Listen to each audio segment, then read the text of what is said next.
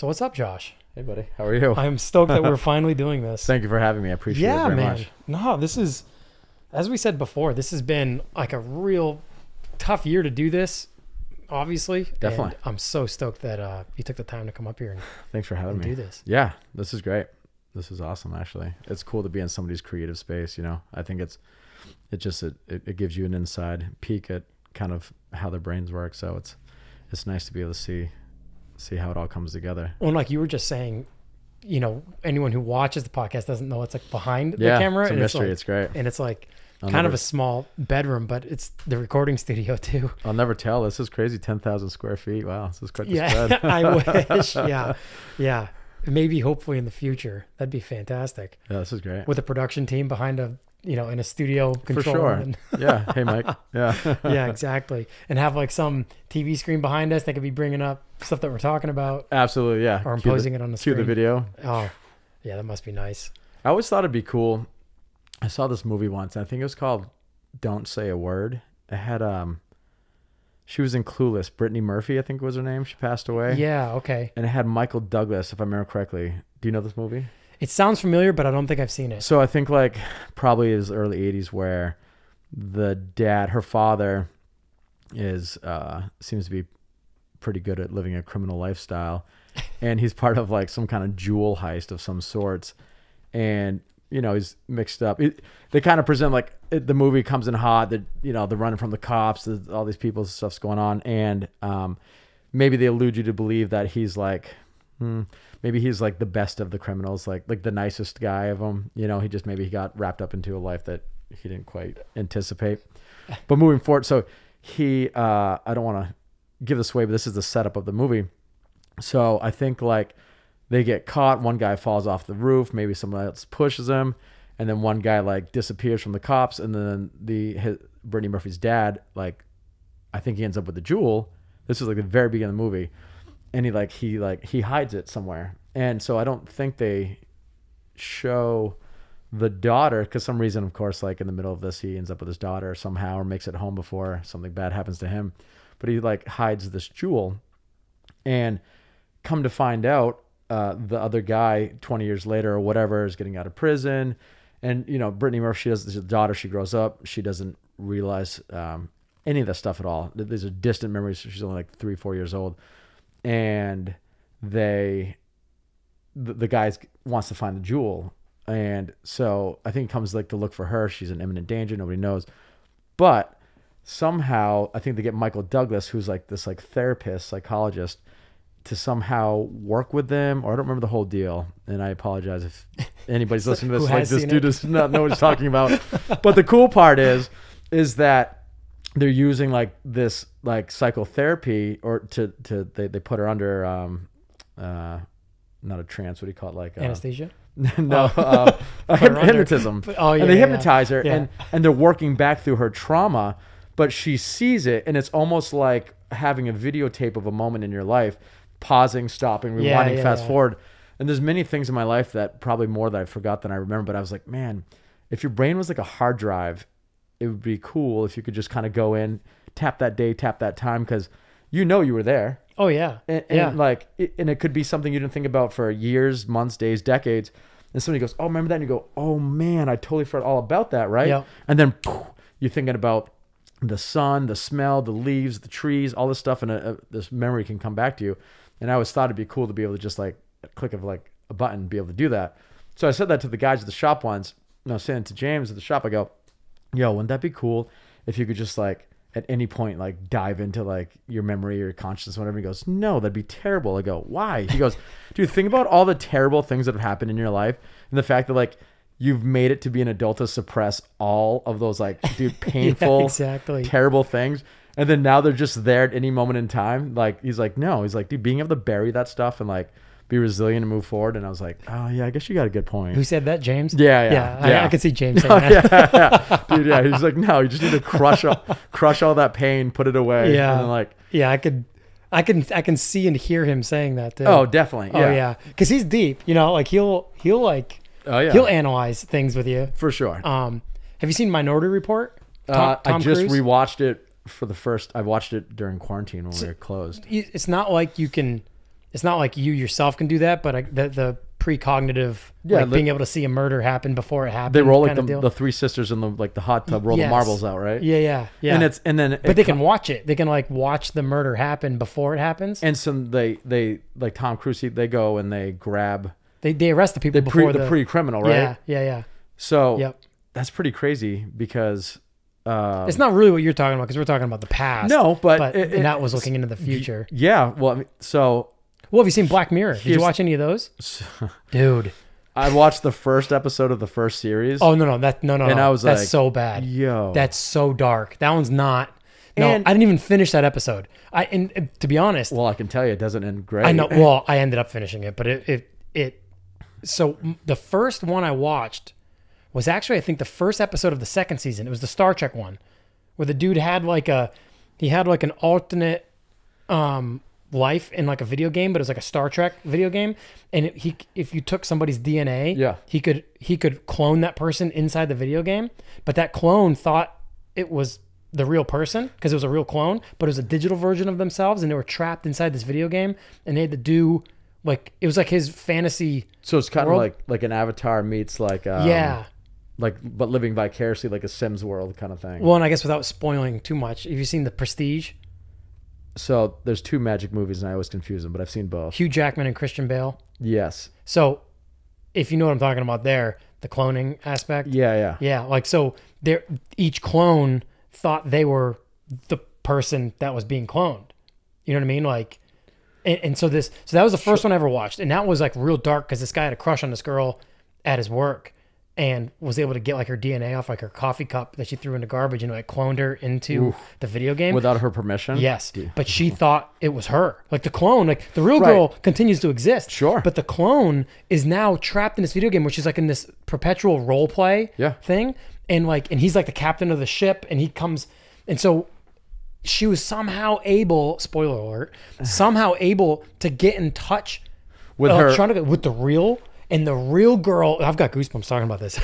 The real girl makes an actual effort in the real world to get her Out of the- digitized out of the video to save her virtually. That's crazy. it's so crazy. There was something almost like that with Ethan Hawke, I think maybe, or where like people had like rich people had made like a clone of themselves, and they were down in this like uh, Yes. world, and so they're living in this like same thing. They get up every day, they're in their pods, they have their job, they're doing their thing, they have their social circles, like the alexas or, or and then all of a sudden they go like they're like calling Mark to the front, like dude. So like Mark walks down out of the factory, boom.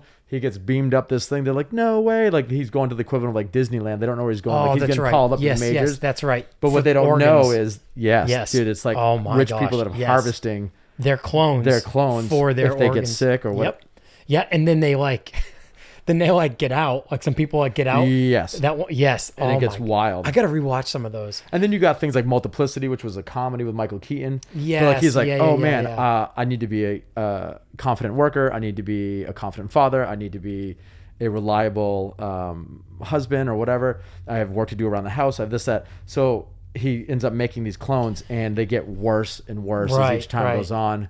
And uh, it just goes to show that you know, same thing. It it, it doesn't. it shows like the dark end of like these like fantastic yeah, because he ideas thinks it's going to be just a version of self. But like you said, these people they they develop their own sense of yeah yeah an entity of the form of themselves. Well, Or- yeah, and i brought black mirror up simply because of that one episode when we're talking about like being able to freeze time or like look back on memories as like a file on a computer was that one oh man i can't remember the name of the episode but it was it was where they had the little handheld shuffle looked like a little ipod shuffle and the the lens of their eye was the screen and they could they could go back and revisit memories as if they were slideshows. And this guy had like but the, the problem was, or the, the, not the problem, the problem for the wrong person was the authorities could plug in and also and, see. and, and there was there was like a murder or something. I can't remember. It's it, this was one of the first episodes I watched as well.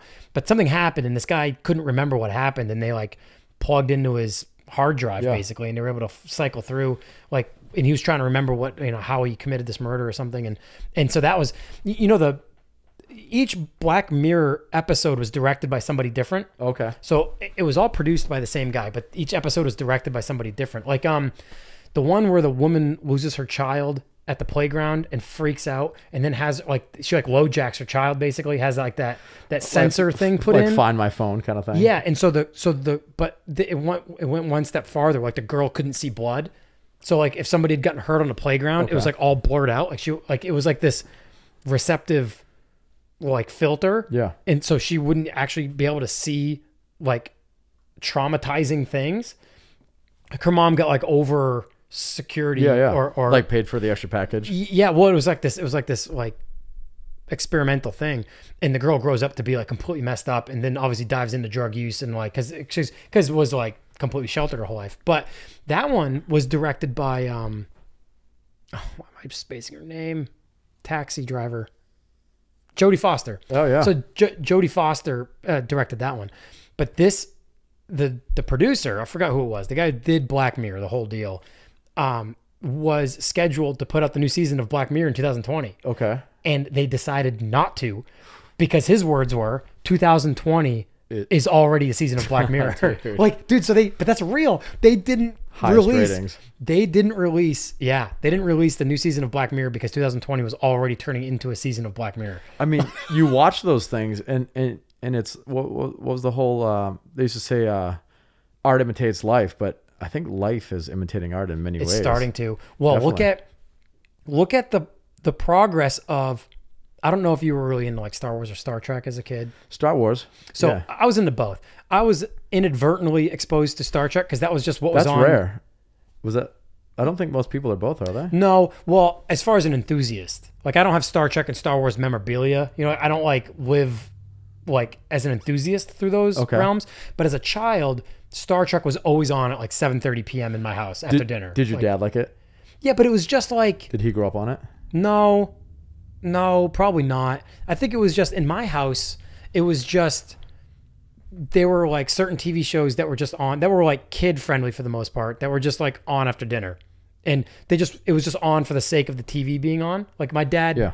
My dad wasn't like you know because he'd be out back in the shop half the time, but he like wasn't like Star Trek was like okay for my sister and I to watch. Yeah. so it was just on, and I liked it as a kid, but I didn't grow up to be like I don't have like Star Trek like stuff, I guess. But but that show, like Steve Jobs, like it's so crazy. Like so that show in the in the eighties, like when Next Generation started with Yeah. uh, with Patrick Stewart as the captain, the Next Generation, he had like these tablets. You know, this is like in the '80s, early '90s. Oh, yeah. and he'd they'd have these little like, Like thin-looking iPad, like, iPad, yeah. looking long before the iPad. Yeah. but now the iPad exists, and and it's so you're right. Like basically, Gene Roddenberry, you know, the producer of Star Trek, and his team were mm-hmm. trying to think of futuristic looking things. Like, okay, so what if rather than like this cumbersome Tandy computer with like this deep monitor and these big clunky archaic keys, he's got this real streamlined. It's like a, it's a screen, Yeah. but he can touch the screen. Yeah, yeah. And and so they they made a prop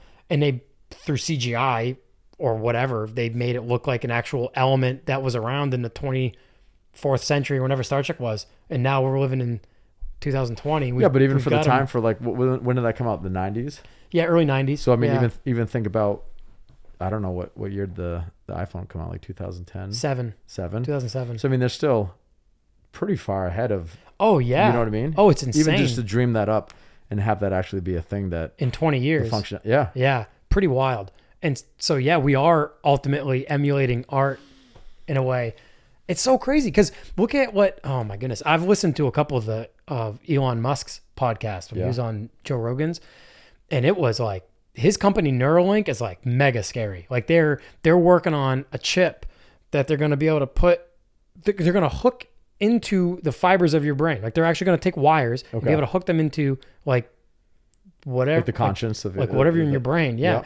And first, and this is what's so crazy. Not that Elon Musk is like some evil genius, but everything starts with a good intention. Sure. Like right now, the point of them doing all this stuff, or what it'll, what it'll get utilized for at the beginning, is curing things like blindness and like working on like Alzheimer's issues and stuff. That and there, he's confident when he speaks about this stuff that they'll be able to plug into this in this chip into your brain, and then they'll be able to like through Bluetooth, like you know, maintain the chip or tell the chip to do certain things and to be able to work on it like you're, you're plugging a car in Yeah. and it'd be like they, Like a diagnostic. like you'd be able to fix things in the brain and the amount of the amount of cognitive control the brain has over the body is like everything. So they're saying that they'll be able to ultimately cure like quadriplegics and yeah, people who are blind or are Alzheimer's or dementia.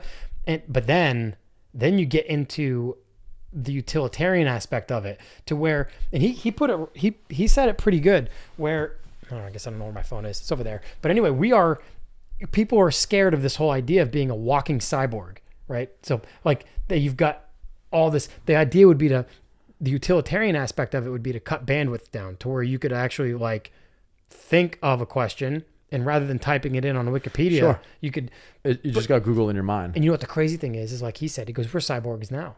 We're you're walking around with it in your pocket Yeah. and you can hold it in your hand. And that's when it got scary for me. I'm like, oh, yeah, we are walking cyborgs now because you've got almost all the information you need to know uh, in your pocket on your person. Yeah. I mean, so well, crazy. so think about telling somebody, like even like when my father grew up in a little farm town, they shared a telephone line on the road. So like me, you, three other people, we could all live on like this one section of road. And when the phone rings, it rings in all of Oh. our houses. yeah, But then I'd be, I'd be like, I'd pick it up and I'd go, "No, John, this is for me." And you get off the phone. uh, in a different house. yeah. So and crazy. then so then to think that at one point in time then you could have a phone in your house have your own line have multiple lines have call waiting hmm then have a cellular phone and then using digital waves or satellite Yeah, or in the house. Now you had a cordless phone in the house. You could like be in another room. yeah and yeah, then, and then go to a cell phone. then go to the phone. cell phone and then now essentially they are computers you know like Oh yeah, the, you know they, they they do photos they do video they do music they do anything that you want in fact they probably get used the least amount for talking on the phone exactly. Oh, Which is absolutely. interesting. Yeah.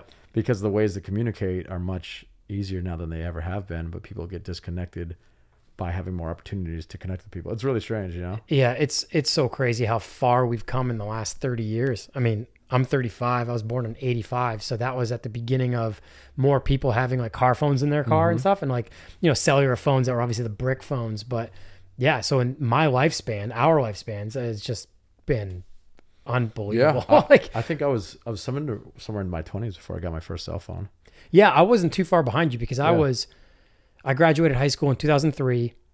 That fall, my best friend from school, who also rode BMX, we hit the road in November and drove every corner of the United States. He had a sister in Durango, Colorado, and a brother up in Bellingham, Washington, on the on the Canadian border, and those were our two like main destinations.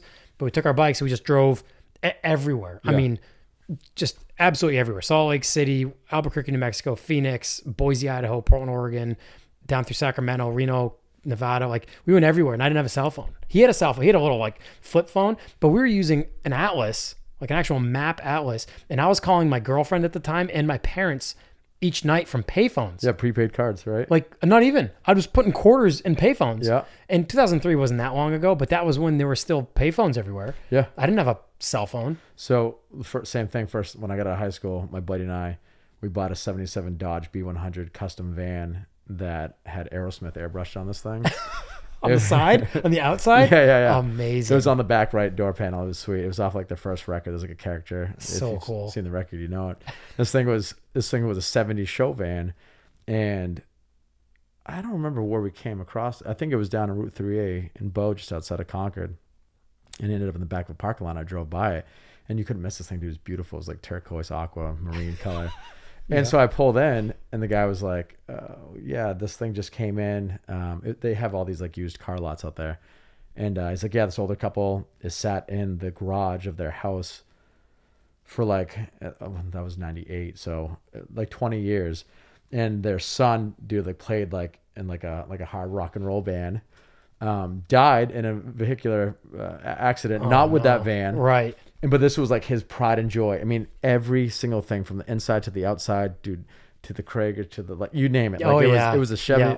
and so I think he, you know, must have given him like six seven hundred bucks for. it. I don't even know. And they bought something, and so it was just sitting in the back corner of his parking lot, and I drove by, I saw it. I was like, "Hey, what's up with that thing?" He's like, "Oh." And you're probably the first person to be like, I want that. Oh yeah, yeah. so I go, hey, listen, uh, I'm super interested. I'm gonna be like taking off uh, forever, living in a van.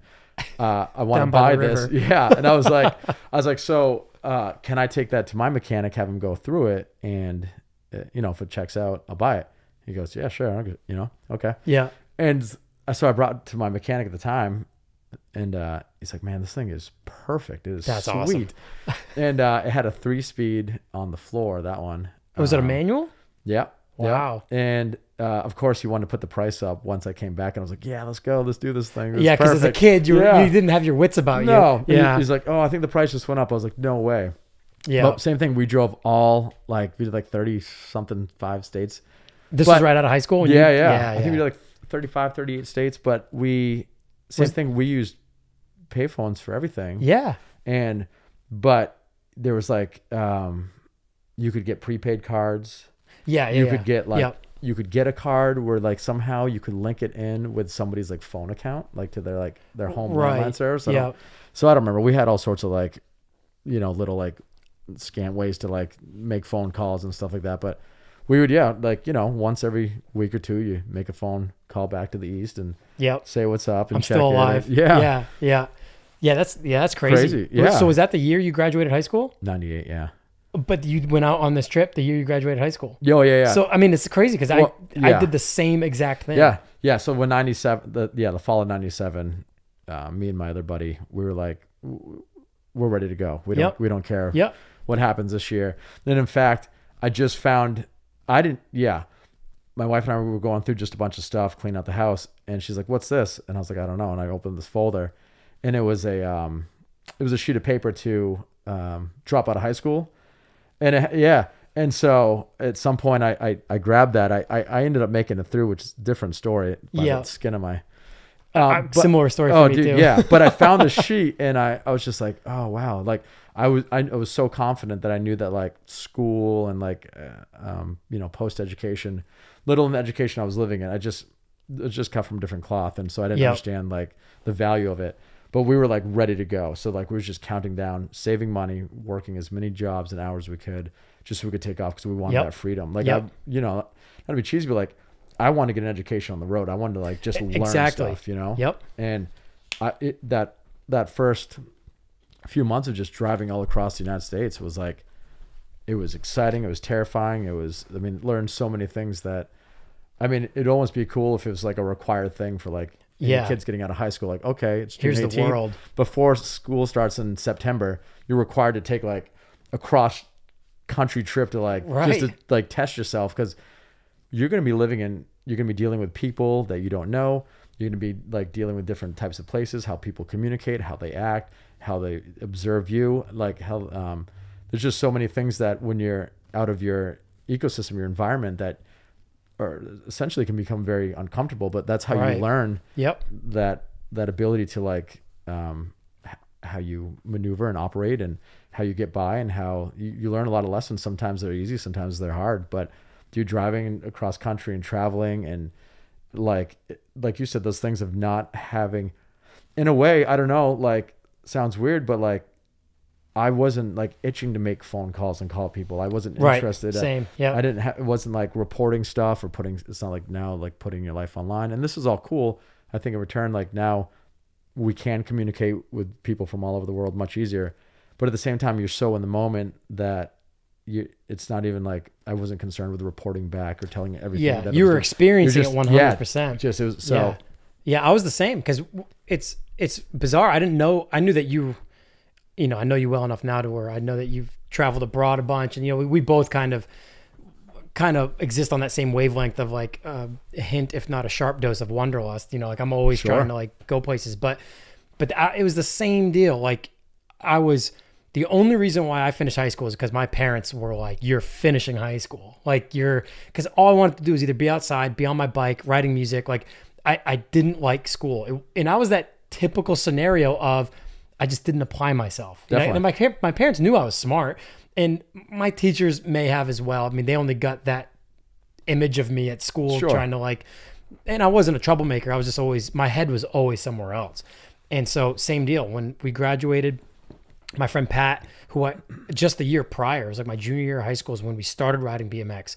It was because Blue Torch was on in the afternoon on TV. What's that? Surfing, skating, BMX. It was like a I can't remember if it was ESPN or TNT or some TV station had um like a show called Blue Torch Okay. and it was like from 3 to 4 p.m. on weekdays. So when you get out of school, it was it, they always played extreme sports. So you'd, you'd see X Games coverage from like the year prior. It was like reruns of like skateboarding or uh, surfing or BMX, and they always had like a half hour or 15 minute segment of like old BMX videos.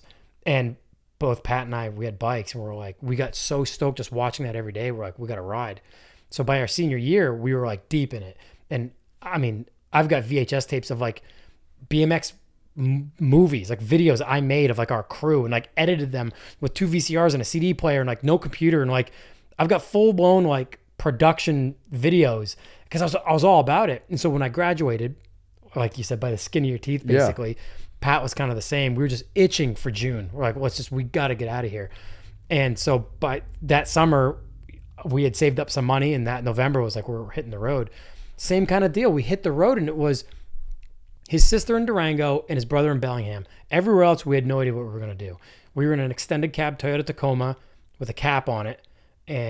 idea what we were going to do. We were in an extended cab Toyota Tacoma with a cap on it, and you know our bags. Like I said, I didn't even have a cell phone. Luckily, Pat had a flip phone. If like we were stranded, broke down in the middle of nowhere in Utah or something, we could actually call somebody. But yeah, I was calling my folks and my girlfriend at the time, my high school sweetheart of sorts, to just be like, "Hey, we're here now. we're in like Nevada, Yeah. and I'm like alive." But yeah, like, but I brought I brought a Sony Handycam, like a high eight tape Handycam, because Yep. I was all about videotaping stuff Yeah. like that, and I videoed everything. So it's crazy that even today I've got like video evidence That's of like cool. that whole trip. But like you said, it it like we drove into Boise. So basically, when we left Durango, we were headed for Portland, Oregon. Basically, we had friends there. We were going to stay there, but we wanted to ride in Salt Lake City and we wanted to ride in Boise. So in Salt Lake City, we ended up sleeping in the truck that night, and then in Boise, we hit a couple amazing skate parks in Boise, and just went to a local skate park, and there was a bunch of riders there, and we just introduced ourselves. Like, oh, where are you from? We're like New Hampshire. We're just out here, like just riding. Yeah. And, and they're like, so where are you guys staying? Like, I don't know, we might just stay in the parking lot in the truck. I'm like, no, come come to our place. And we're like, okay. So we started this crazy couch surfing thing. Both Pat and I were like able-bodied 18-year-olds, but we had pretty good judge of character too. Sure. We weren't getting ourselves into like real sketchy scenarios because we weren't like doing drugs and like getting involved in like weird people. But we met so many people that like it did. It changed my life. Like we got into we got into Portland and headed south after coming down out of Bellingham and Seattle. We stayed in Eugene, Oregon for three full days because we met this guy Mike Lund, who was a pro rider at the time, at the Eugene skate park, just a big concrete skate park. And same deal. Where you guys staying? Like, well, we don't know. Like, we gotta we gotta pick up a friend in Reno next week before we head home. He's like, oh, you're more than welcome to crash with me if you want. We're like, yeah, this is awesome because I had actually I knew who Mike Lund was, so I was like, wow, this is amazing. We get to crash with Mike Lund for a day or two. The next three days, it poured. Oregon weather just poured for four days, or the forecast was looking like it was going to rain that far out. And we're like, I don't know, maybe we'll just hit the road. And Mike goes, Mike built houses, like he was a he worked in construction. He goes, well, actually, I've been meaning to build a quarter pipe in my garage for like the last year now, and I haven't gotten to it. If you guys want to stick around for a few days, since the weather's going to be crap, you can we can build this quarter pipe and ride in the garage. So we were like, yeah, let's do this. So we stayed at my, this dude Mike's house. who we hadn't ever met in person. He didn't know us from a hole in the wall and a bunch of his friends would come over every day and we would we built this like four foot like vert quarter small vert quarter in this like two bay garage inside and with the doors closed we accessed the quarter from inside it's not like you rode in from outside like the doors are closed and and i videotaped this whole thing i videotaped us building this quarter pipe and us riding so i've got Cool. all that footage Very still cool. and yeah by the time we got home it was like wow like all, all right like we've now what like it almost set the pace for our lives you know because it wasn't we had no real interest in going to college because we didn't have you know my dad didn't go to college and he built his own business the towing business and the garage business with his two hands and Yeah. so I, my parents didn't force me into college but they said if there's something you want to do we'll support you in, in that but don't feel like you have to go to college and so That's cool that they didn't put that on you. I didn't feel forced to. And after that experience, yeah, the next 2004, my first full year out of school, I worked construction, building houses, but I pursued the BMX thing. And then by 2005, I got my first pro sponsorship, and it was like, wow, this is a, a career path I never even thought would exist. Yeah. So, yeah, it's cool that you did that too. I didn't I didn't realize that same year basically. I think once you get, I don't know. Once you get those miles under your belt, it's hard to it's hard to not like want to just chase that forever. I think it's easier to make um it's it's easier to and, and we can get into this conversation too, but like with your with your barbershop, but like it, I think it makes it easier. You you have more confidence in yourself to make a leap because like a, a leap that may not Yeah, seem well, like it's going to pay off. y- you know, if you don't have a five year plan or any goals, so to speak, uh, for some people that's scary. Um, not having that Right. for me, having that actually seems scary because Y- I didn't. yeah, I don't- you know, I was like, going to say I don't have that. I don't want. I, I didn't want a predetermined life. I kind of Yeah, like. yeah, yeah. I've had that impression that my hands are always on the steering wheel. Um, Right, right. so But there's all sorts of different roads ahead of you. Oh, sure, yeah. Yeah. And then that was kind of the exciting part of not knowing where it's going to take you. And I think you know probably same thing. Like I grew up skateboarding, grew up through like hardcore and punk and stuff like that. Like, so I think these kind of like subculture worlds or these different things they they teach you to think for yourself. They teach you um, drive and passion and hard work Yep. and um, freedom and ability to um, do what you want as you want. You mean as you please. And uh, you and I were talking about that earlier. There's something to be said for essentially creating the life that you want to live. And I don't know. I mean, for some people that might seem selfish, but I mean, if if you're staying true to yourself and you're doing things that you enjoy, you're not really hurting anybody along the way, like it's your life. Oh, it's nobody else's life. Like, Yep. I mean, I hate to break that to anybody, but it's like, hey, you know what? Like, I've told a million people in my chair, go, hey, why don't you tell your uh your folks to take it easy? They go, you want to tell them for me? I go, I mean, that's not my job, but yeah, exactly. I go, I had to do that on my own, you know, like. Yep. But the thing is, is that it's your life, and uh, obviously, until Elon Musk like can download our consciousness, we're we're on limited Yeah. time here. Yeah, so it's like, and the, the quality of your life and how you live and how you treat yourself and how you, um, you know, and, and, and the people you surround yourself with, these are all, you're constantly like a sponge absorbing things. But I think coming up with a mindset, like you said, with folks who didn't try to push you or steer you in a certain way, coming up into something definitely for the time, like through BMX and other like alternative sports, it was definitely like, uh, you know, cutting edge or, or a, thought outside the lines. So the way people look, the way the people act, the way they carry themselves, the how they're making money, or how they're living, or stuff like that. Like these are all different things, but they're options. And I think that as great as it is, like you said, I mean, there's many times where I thought I could have definitely taken advantage of of uh, like earlier education and stuff like that. Right.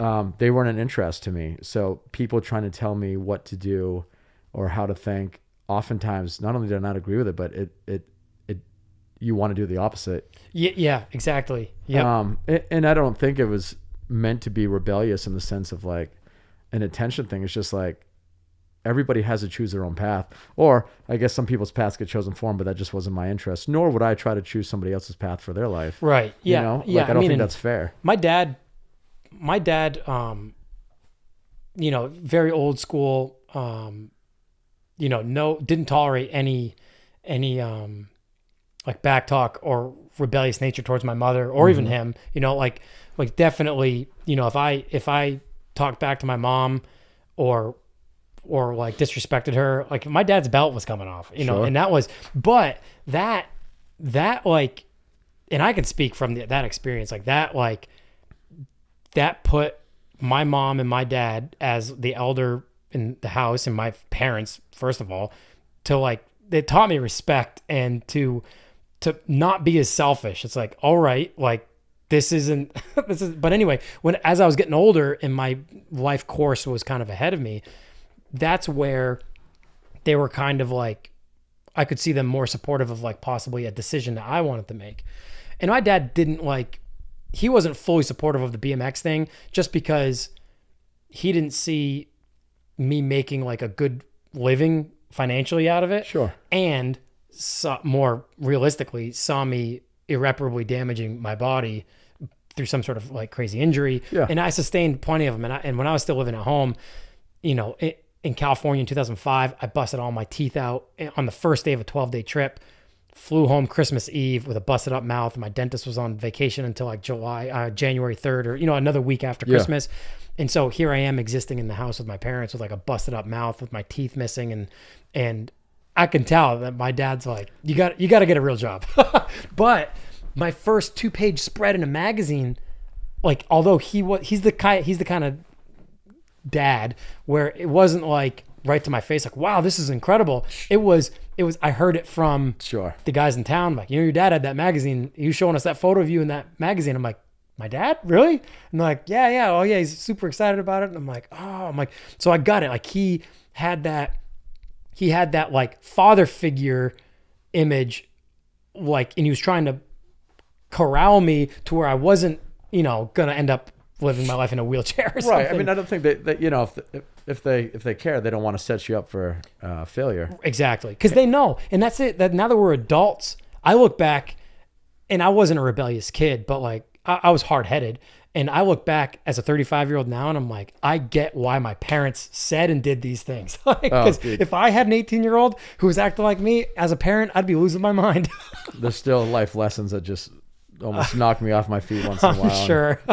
You just go, oh, oh, that's why. Okay, that makes sense. Yeah, yeah. well, and it's funny because that's why my my parents and I are like friends now, and and anyone that listens to this podcast through through my through my reach knows that I've got a real solid relationship with my dad. You know, we built cars together. We, you know, he's he's a friend of mine, and and you know, it, it would shock some people the fact that like he would spank me with his belt as a child, but now we're like like best of friends. It's like it, it was a I that, that that dynamic came to fruition the way every parent and every child would wish it would. You know what I mean? Like where that we're friends now, and I look back on yeah some of the moves I made, and I'm like, man, my dad is a like a saint for holding it together through some of the things that like I wanted to do or some of the nonsense I, I wanted to pursue and I mean, it's got to be terrifying it's got to be being responsible to make sure that this living, breathing creature that's your DNA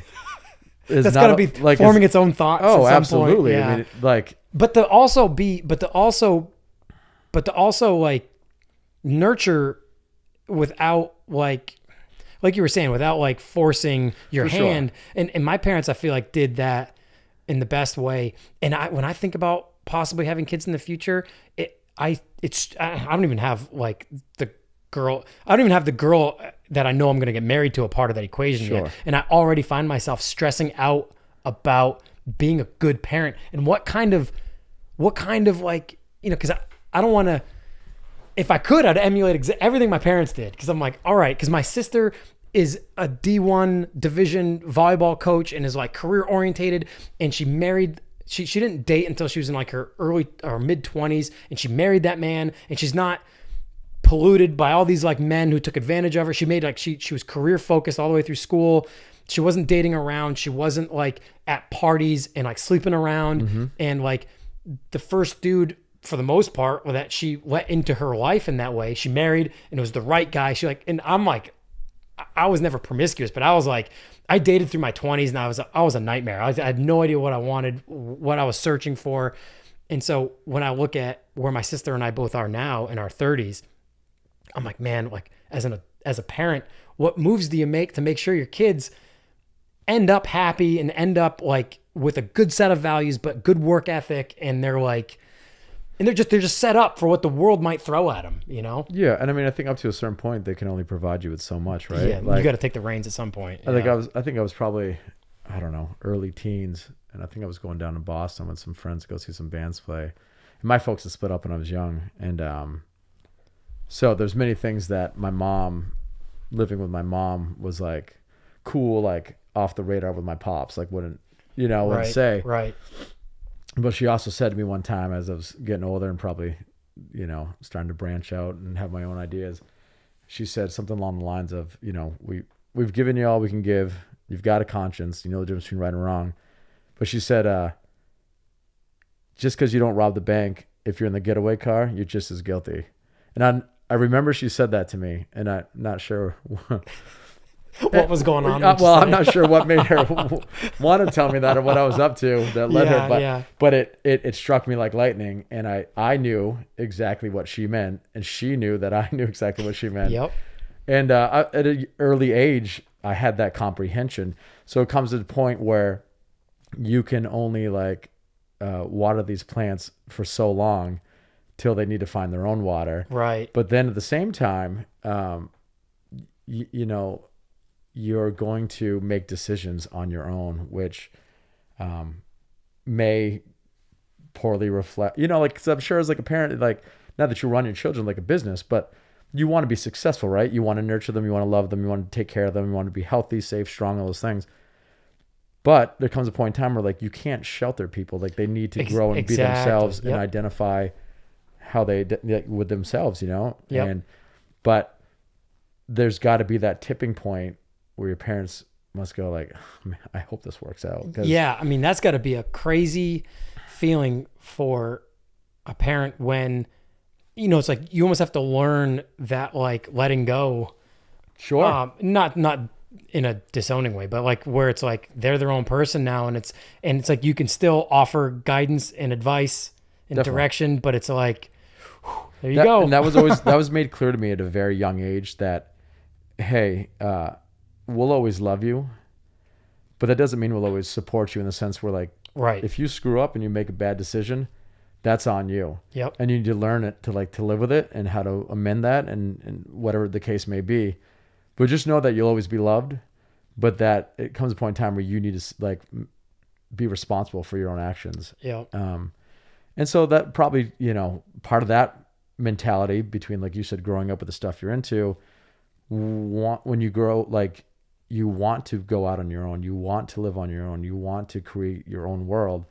Part of that, now thinking about it, is probably is is, a big like fundamental of of going out and you go like, hey, I know I've got the tools for the job now. Like, let's just go find out and make the most of it. And Yep. I mean, life's a constant adventure. You know, it's uh, like you were saying earlier. You don't know if you want to be here in the winter, or you know you don't want to be in the winter, but you don't know where yeah. you want to go. Yeah. But it's a series. It's a series of challenges, and I think that um, I think that life is difficult. I think it's um, not always wonderful. I think it's hard, but occasionally you can find these things that fill you with um, with pleasure and enjoyment and fulfillment that make it more tolerable. Um, Yeah. And like you said earlier, we were talking about like you know being able to communicate with the world and be able to put information online and take cool pictures and show things. It, it's nice.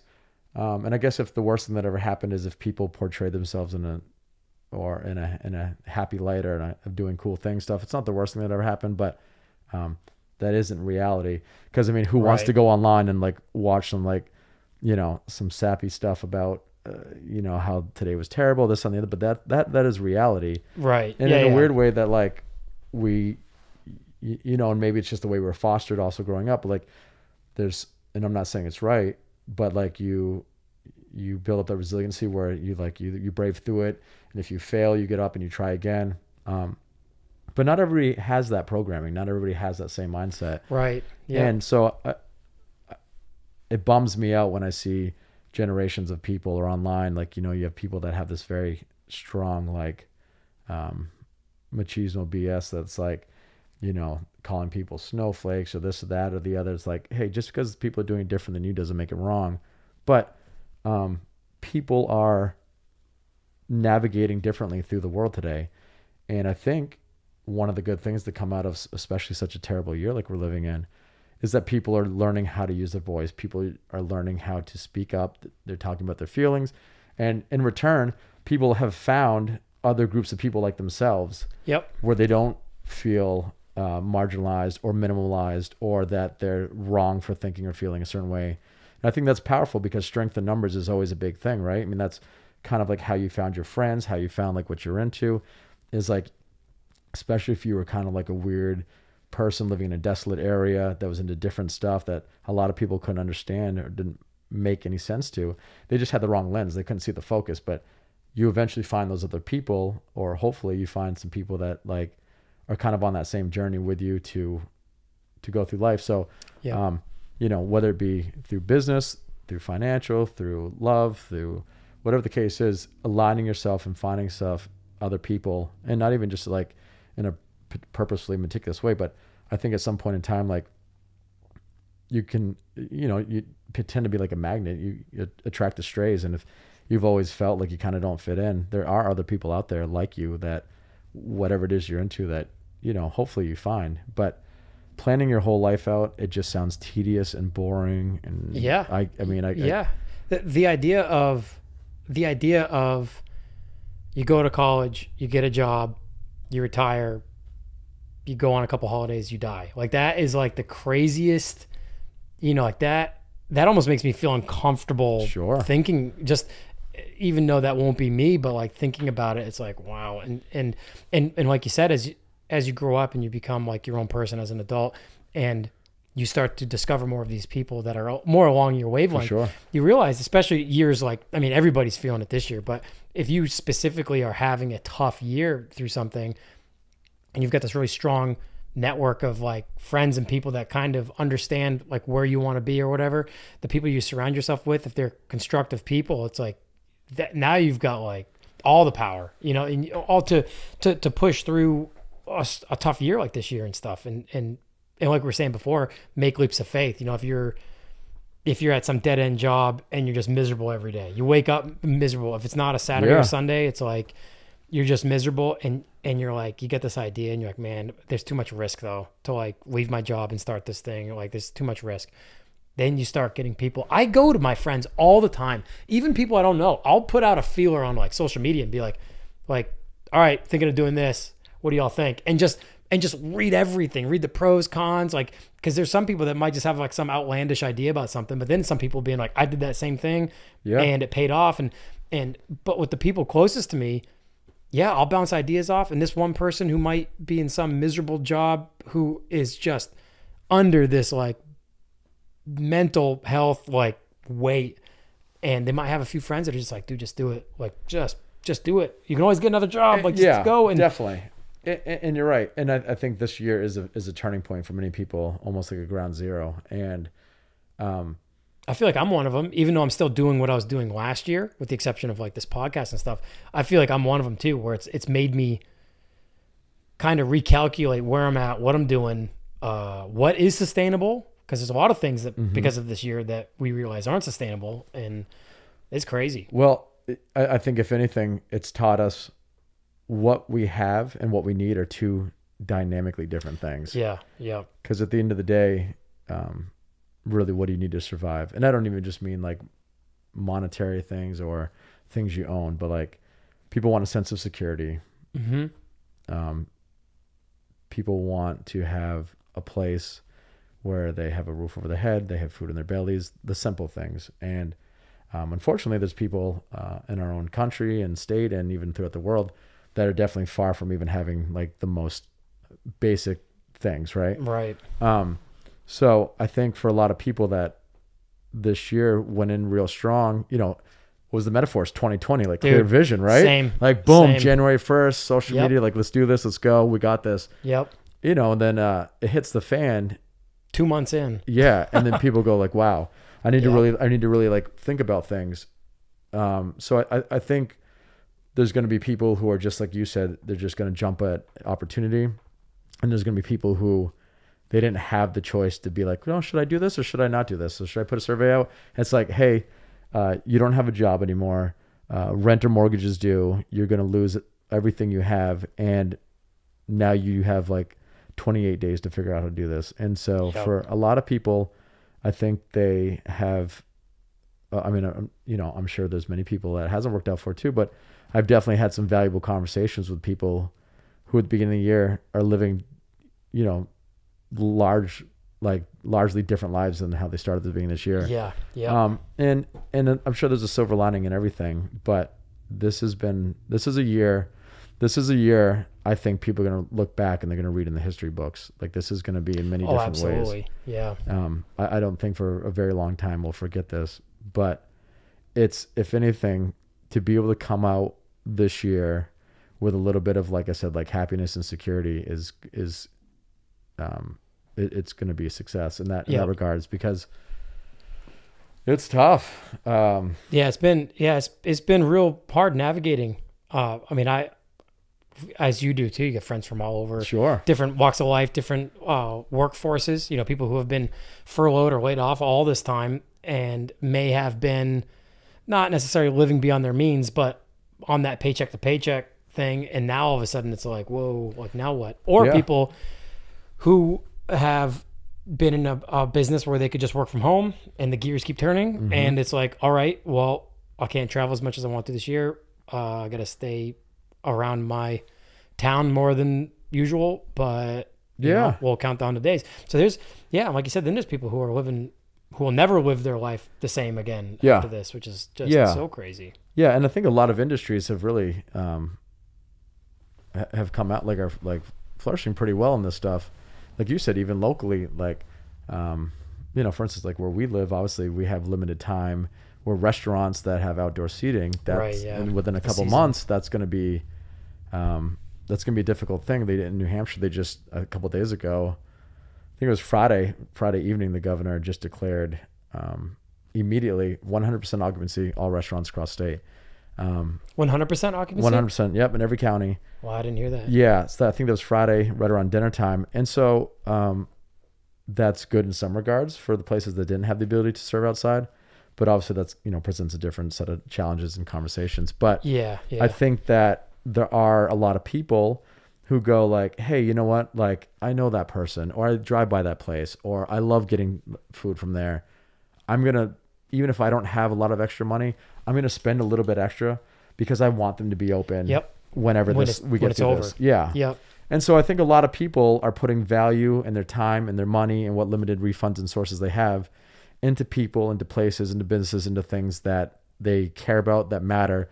And people are really showing that support in many ways. Um, and I think that that's great. And I think um, that that's what's going to keep things moving, that people lining themselves with those kind of things. You know? Yeah, absolutely. Well, I mean, and, and on that on that subject, uh, let's talk about Lucky's. Let's, you know, I mean, that's Yeah. that's obviously your barbershop. Um, Yeah. So, but, so well, I mean, so you've, I've, I mean, I've been tagging you since I started social media. I mean, you've been cutting my hair for oh my gosh, ten years now, yeah. eleven almost. Yep. I mean, you as in the shop. Yeah, yeah, I definitely. mean, um, but you've. Well, let's let's go before the shop. So Sure. we lived pretty comparable. Like we kind of hit the same communities, aside from like Yeah. I know you kind of grew up riding like skating and stuff too. But I mean, I got into BMX real hard. But They're we not both, far apart, though. But we both played music. Mm-hmm. I mean, I still do. You still do. Um, was music a pretty big The biggest. thing before uh, you wanted to be a barber? Definitely. you've been a barber since what 2000? Yeah. Yeah. I got my license in 2000. Um, Before the couple years. I grew up going to barbershop and then I, I, I started cutting hair when I was 12. It was 1992. Um, Oh, crazy! I guess I didn't know you were cutting hair that, that young. And that's a long story. I won't bore you with, but I grew up going to a barbershop and essentially the one day that I was visiting my old man, we went real early and the shop was too busy. He had no patience. So later that day in his little hot third story apartment, he essentially made me give him a haircut with these clippers he used to shave like his German shepherds down with in the 80s when I was a kid. So, um, so that, that was the beginning. that that was the beginning. That that was forced upon me. Uh, little did I know that you know within a decade that that's something that I would pursue. But I, I had no dreams of being a barber or anything like that. Um, but I was Speaking of hot apartment, I'm gonna open this door real quick. I so yeah so um, barbering I guess was always, or at least from the age of twelve was always there. But it wasn't something that I even considered a hobby. It was just something I did. I thought it was cool. But um oh yeah like for sure so growing up like my mom was like this like little hippie rock and roller from like way up in vermont and my father was and they're both they both grew up on like farms in different small towns like and he, he grew up up north in new hampshire and um by the time they met he had already done a tour um with the army enlisted during the vietnam era um when Did he go overseas? During he was Vietnam? overseas. He spent most of his time in Europe and Eastern Europe, um, and some other places I'm not sure of. But I mean, that's good for him. I mean, not yeah, yeah, yeah. He was. I, I think he, he was. He floated around quite a bit. In fact, his first uh, before my mother, he was actually married to uh, a woman from Germany. Uh, oh, that's awesome. didn't speak any English or anything. Yeah, I say that's awesome because so- I- I- I, I mean, I never met her. You know, Yeah. but he he had he had he was you know he had a, a life over there and and whatnot, and that didn't work out. But met my mother, and I mean, they couldn't be further from. They are the, the two most Different people. dynamically different people.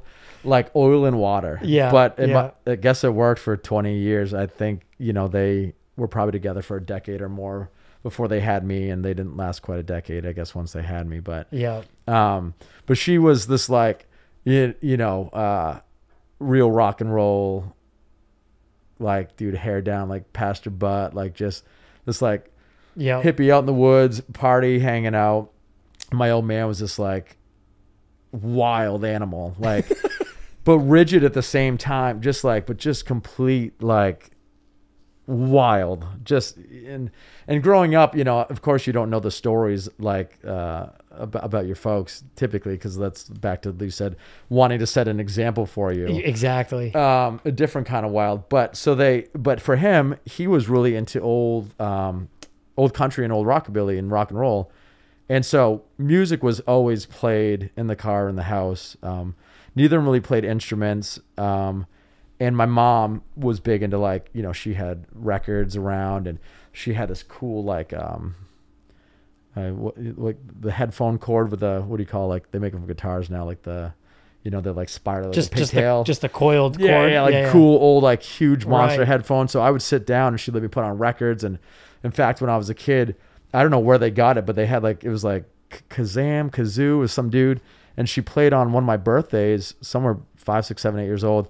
It was a little 45, a seven inch record, and it said like my name, and it was like happy birthday, happy birthday, happy birthday, and I'd play that record over and over and over to the point where like, dude, she would plug in the headphones, put them on my head. She's like, all right, she- if you're gonna listen to this, you're gonna sit there. Like, we can't take any more of this.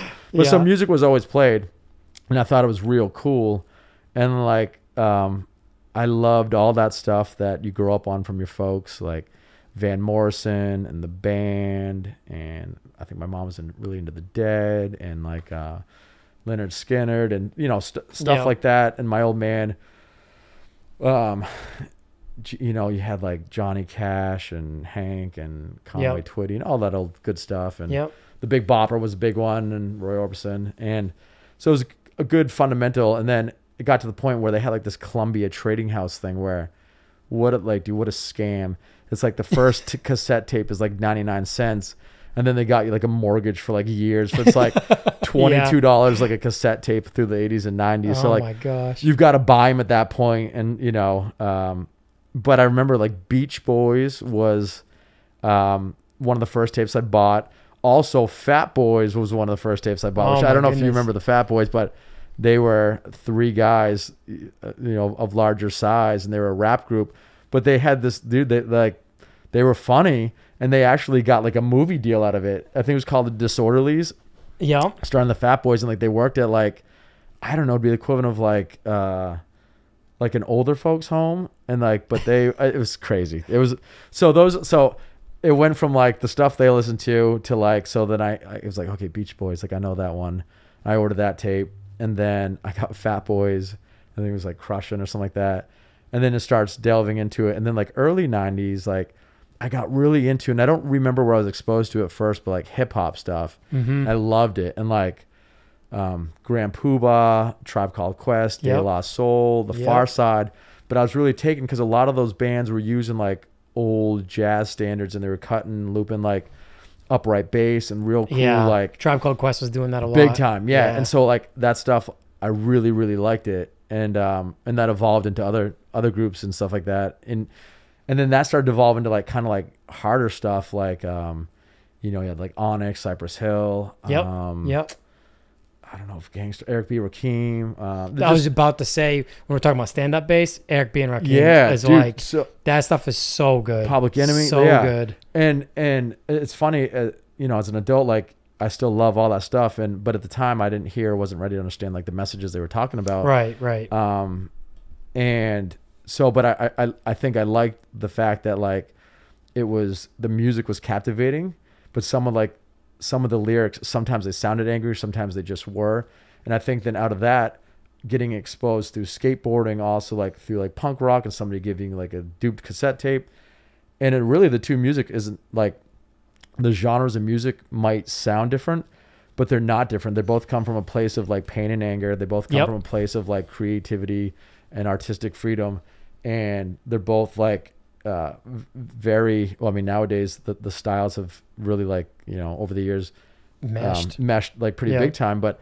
they both come from a place of like um of I think of pain and anger and and solitude and also finding like and, and, and talking about the things that they don't have, things they need and things you want and wanting change and and so um, music's always been there and on the music side of things, I was um, spending a little bit of time up in Vermont where my mom grew up in my cousin's house because as a kid, I got to go up there and spend time and I always looked forward to it. And then when I hit um, my early teenage years, my mom was like, "Oh, we're going to Vermont." I was like, "Nah, I'm gonna hang down here." And she's like, "No, no, you don't have a choice." Like, so she's like to get me like out of trouble, keep me like, she she you know would bring me up the middle of nowhere.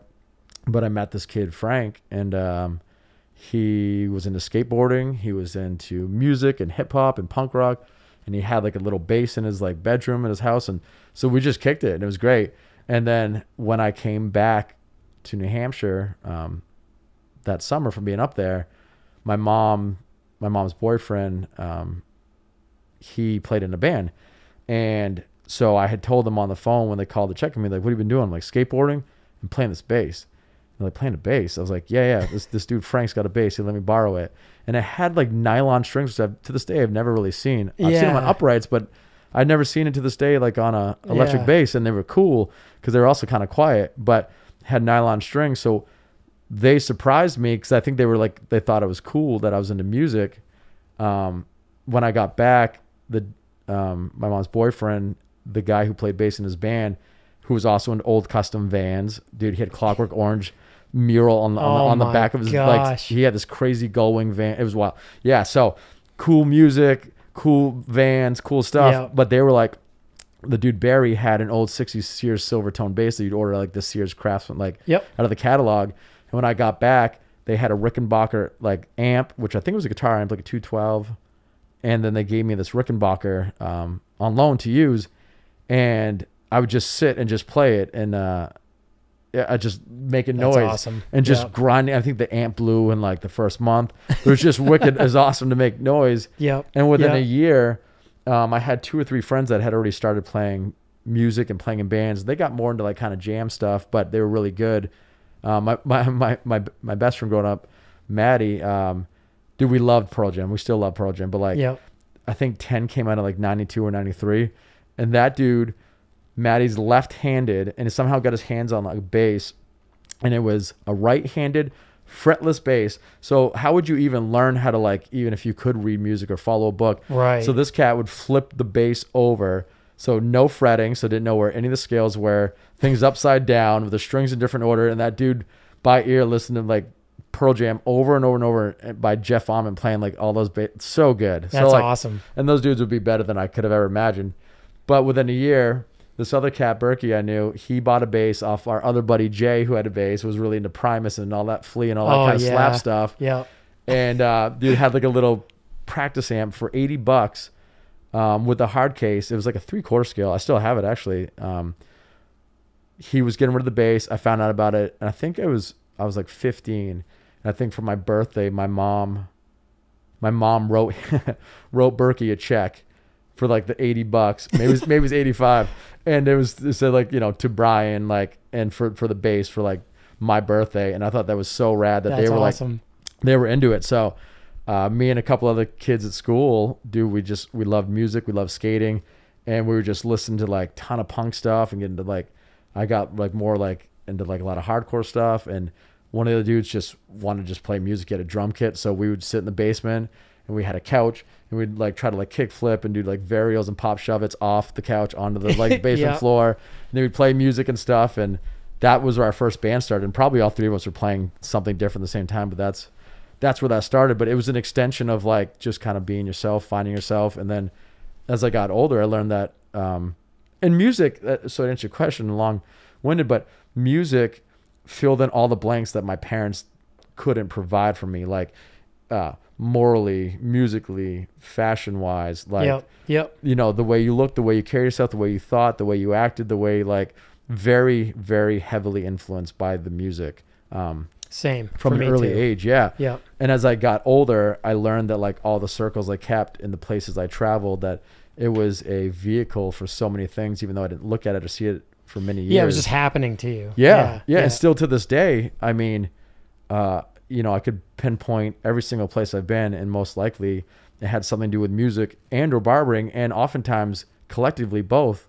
Um, Yep. they're, they're, they're, they've, those two things in my life have become intertwined because a lot of people that I'm surrounded by um, are also very heavily impacted by that stuff. Like music shaped their early formative years Yep. into their adulthood, and that's I think when you kind of come from like a place like that, like, and I don't know, like I'm sure like Lady Gaga's sick, right? But like, and I know she's like she's got a voice and a lot of like empowers a lot of people, but in a different way. Like I don't know how many people like in that kids that grow up in subcultures if they're as impacted by like what you hear on the radio. Like I don't know if it has like a life changing Yeah. thing to the yeah. Point where know. like you're like, this is who I hang with, this is how I roll, this is what I think, and this all came from music. And I don't know how many people have taken it that seriously or that it's Yeah. changed their life, like that you'll forever be impacted by that. Yeah, because I, I certainly it certainly did that to me. I'm I'm really the only musician in my family too.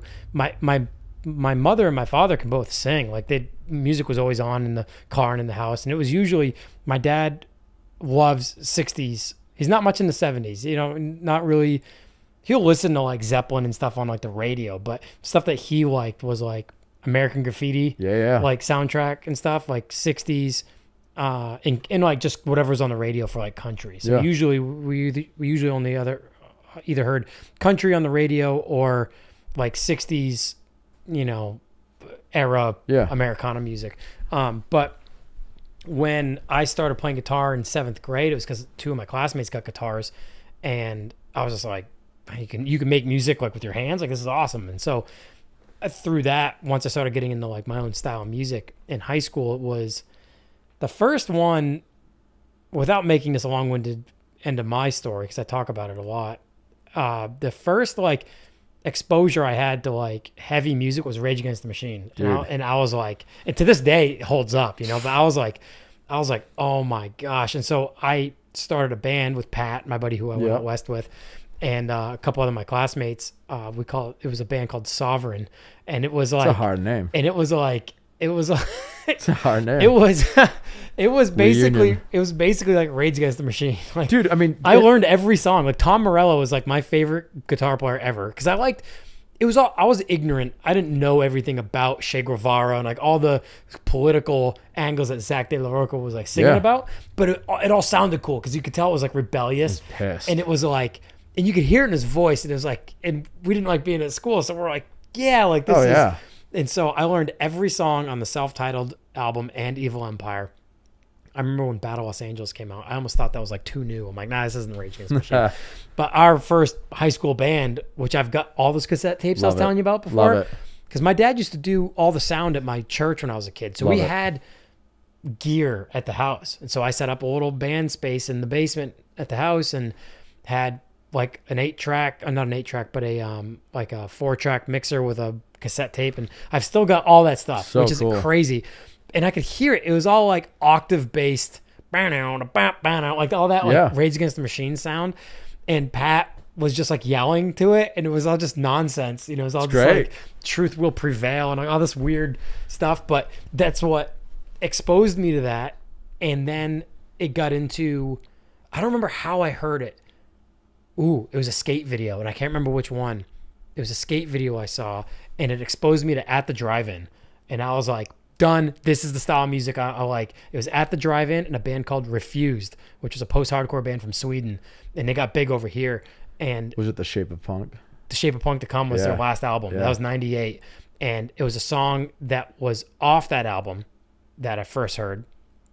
And I was like, this is it. Between Dennis Lyxzén of Refused and uh, Cedric from At the Drive-In, I'm like, this is, I've found. And so, yeah, anyway, it, it shaped me as well with like my fashion.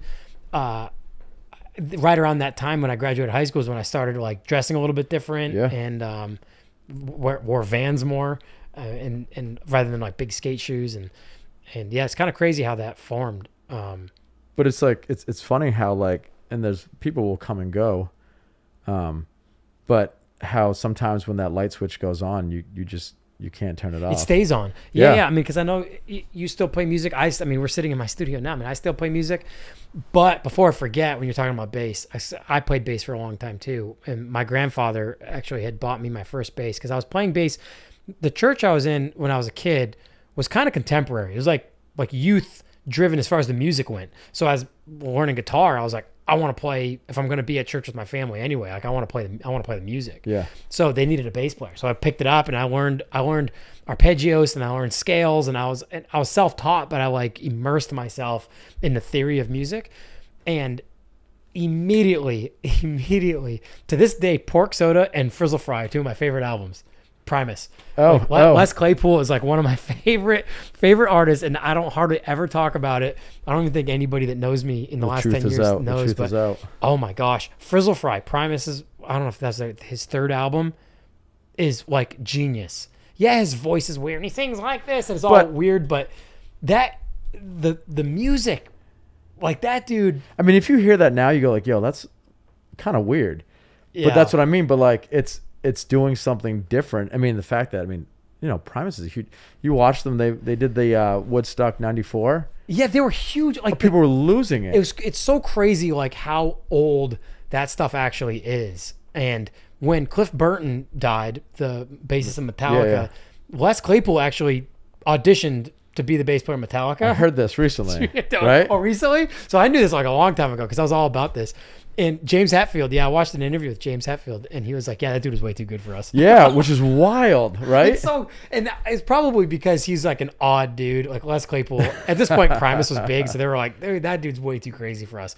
But yeah, it came down to that he was just too good of a bass player. They're like, yeah, we need we need somebody who could just like just like lay that bass line down. he and just, took something that was people had looked at an instrument like that for a very long time. Not that Decades. people, yeah, not that Yeah. people weren't playing funk and doing different stuff like that and and soul, but that guy just mashed the heavy stuff yeah, with funk and with soul. yeah. I think and, that like- I think this I think the SansAmp pedal became way more prevalent in Like the bass playing, overdrive? Yeah. than after Primus because he had that grungy, distorted, and it was the it was the uh, driving instrument of the band. That right, and you not often oftentimes you wouldn't see that as as the primary front Right. front of the right. of the band. So for that guy to look at an instrument which people had done for decades and to go like, no, I'm gonna play it differently. I'm gonna do something like yeah. you know, totally and different. I'm sure it wasn't by design. I'm sure it's just the way his brain worked. But yeah. Yeah. dude, just so crazy. that's what I mean. Like there's there's there's there's people that are just they're they're captivating, and people like they people they grasp on those things. They see those things. yeah, and you know he would have been playing that type of music whether or not people were into it or not. Well, It's that's the way- thing, he's a right? true artist, you know. and and and that's the thing with today. Like, what are people doing for themselves, and what are they doing for other people? And yeah. Yeah. uh, you know, kind of we're saying earlier, like you got to make yourself happy. Yep. Um, but having an outlet for creativity through art or music or writing or, or like whether or not people are listening, hopefully you're doing it for the right reasons for yourself. But sometimes cool stuff comes out of that. Yeah, sometimes yeah. you find other people that that have similar interests or common bonds and goals that you make through those things, and sometimes it it opens up cool cool friendships and traveling and opportunities and different stuff that you wouldn't have otherwise. Yeah, and an opportunity to do something different. Well, you because maybe you played music and then maybe you got into like painting or something like into art Sure. or something through music. you Yeah. know? Or like you said, riding a BMX, did you think would ever you'd ever take off across the country just to Yeah. you know, like that's the same thing. Like so there's many avenues of transportation, you know, not not even just in a vehicular way that that allow you creative outlets to you know, to pursue to pursue a different life than than most people will never know or understand, you know? Yeah, well, I, I mean, I I feel for those people. I mean, I've got friends, as I'm sure you do too, that just live that cubicle life, and and it's it's the safe it's the safe route. You know what I mean? Like you get a job, or you, you go to school, you get the job, you work the job, you get your time off, you get your paid holiday after you know a Mhm. year, and or whatever, and then you've got your weekends, and you get married, you have kids, you continue to work that job, you get the gold watch at 55, Sure. 60 or 65 now or One whatever. toe dangling over the grave. Yeah. Yeah, and then yeah, and then your health's gone, and but you played it safe, you know. And it's like, if I could, and I'm still in the process of trying to figure it out, but like if I could shake my friends that do that, that are that are clearly miserable doing this, it's like just like make a take that scary plunge and just Do you think though that those those people are yearning for more? Do you think they know the difference? Like because some people I talk to, they they don't have like they they don't have a like a an itch to scratch. It's just not yeah, there. Yeah, you're right, and, and I, I don't know because we're not cut from that cloth. So Like I, don't, I don't know. It might seem complacent to us, but to them, for some people, They um, live th- for the weekend. sure. Yeah. You yeah, very well could be. Um, but I've got plenty of friends that work in office buildings and stuff, and and they do take pride in their work, and they're compensated well, which is great. I mean, the health benefits and all that go a long way today. But um, but our our doers, you know, like they like from 4 p.m. or 5 p.m. on, they're like they're working on like their car or they're Yeah. working they're just constant doers. And sometimes i i almost wish i had that i probably do but i almost wish i had that tenacity to like work a full-time gig because my roller coaster is high and low. It's constantly inconsistent. And uh uh but i see some of these other people doing like everything when they have to be tied down for eight hours a day monday to friday which is crazy For sure. And, But- and I think two things can happen too. Like, well, one, a lot of people don't have jobs that define them. right You know, like most people don't f- feel fulfilled. That it, they, they don't feel like they get to be themselves. That they feel like they don't get to be around people that they chose. They feel like they don't get to express themselves create, creatively, passionately, fundamentally. Um, and I feel fortunate because I know I'm in the minority where I, I, I am in a world, in Yeah. a place, in a trade, um, in a little ecosystem that um, caters to all those things. But I also know that that still doesn't define, you know, everybody that, that does this kind of work. But in return, then there's people on the flip side who do things that we enjoy as a hobby. And sometimes those hobbies, because they're so passionate, become a job.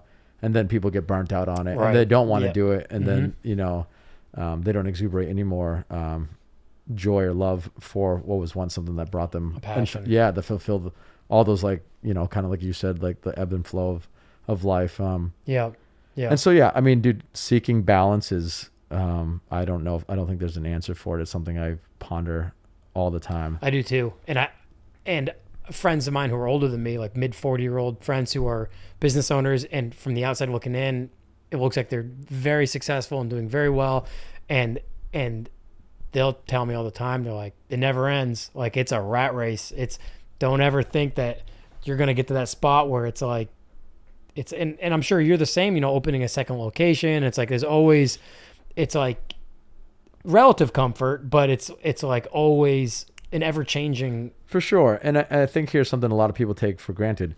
When you see something and it's running smooth or seems to be going pretty well, a lot of times people don't understand all the behind the scenes stuff. Right. You know, the gears And- that are turning and Yeah, and it doesn't mean it's bad stuff. It just it's work, and not everybody is cut out for that kind of thing.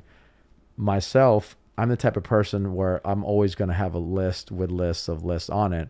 But for some people, where that would be aggravating and frustrating and overwhelming, and not fun or enjoyable, those are things that keep me grounded, keep me in line, keep me motivated, keep me striving, keep me pushing forward, and I like that. Um, it doesn't mean that everybody doesn't need like a minute just to take a breath once in a while, but having something to make sure that you're responsible for and to take care of, um, I in my world that I find that to be very important. You know, I don't have children, so maybe that's like that's that version where you know if people have kids, they need to make sure that they're safe and taken care of, and Yeah. and you know um, that they need to curate and and make sure you know that they grow up and responsibly and how they like same thing with the business like you need to const or at least in my you know in my time i've noticed that you need to constantly be on top of it. You need to be evolving. You need to figure out uh, you know what's working what isn't working how to make this better how to improve.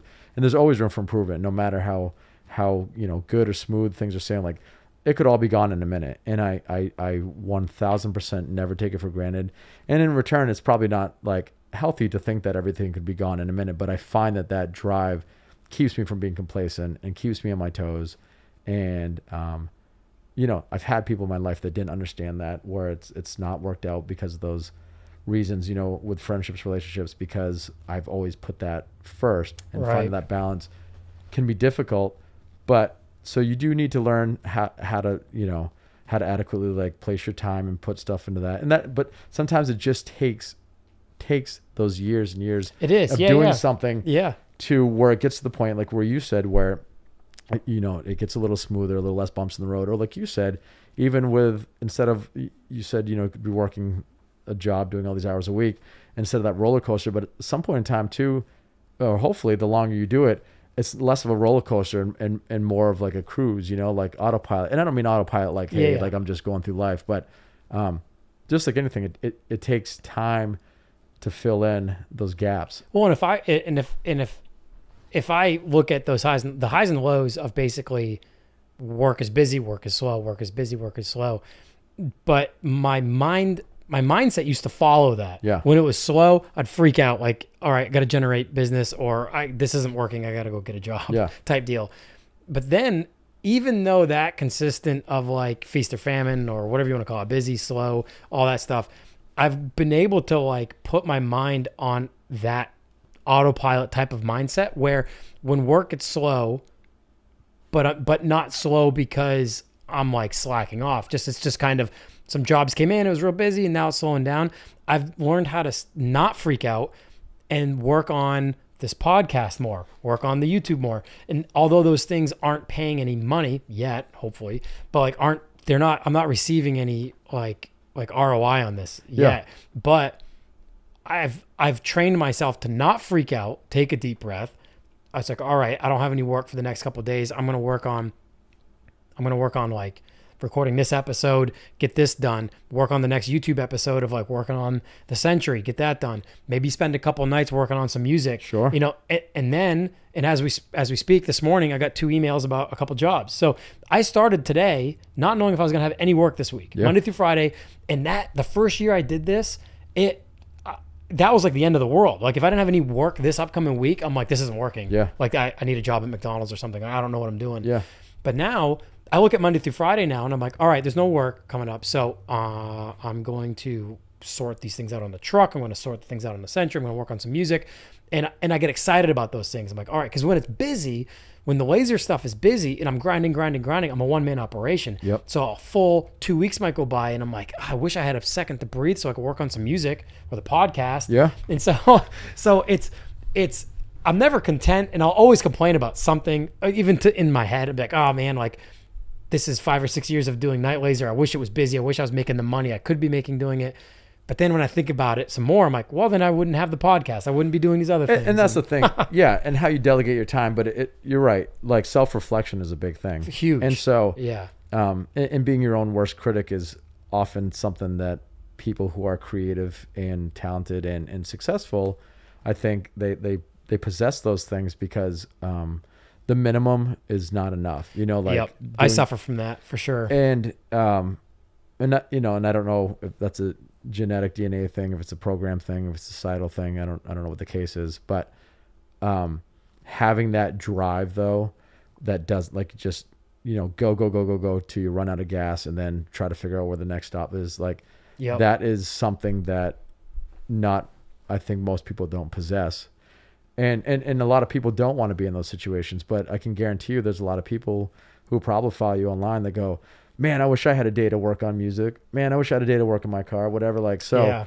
um and, and that's not wrong to for people to be envious it's not wrong for you to be like oh i wish i had this you know? I think that's just that that's the human element. And it helps you set goals. definitely. Yeah, I mean, yeah, for sure. like, like i said before life is a series of challenges but it's just kind of navigating and figuring out which challenges you want to take on. The things the things that I try to tell myself a lot is uh whether or not it was me when I was 18, me when I was 25 when I was riding professionally, didn't have two nickels to rub together, but I was I was making enough money to pay my bills and be on the road with a bike. I mean, that was like the dream. yeah So I, I always, but but then I would look at like my finances. Like I don't have I don't have any money. I've got like two hundred dollars in the bank.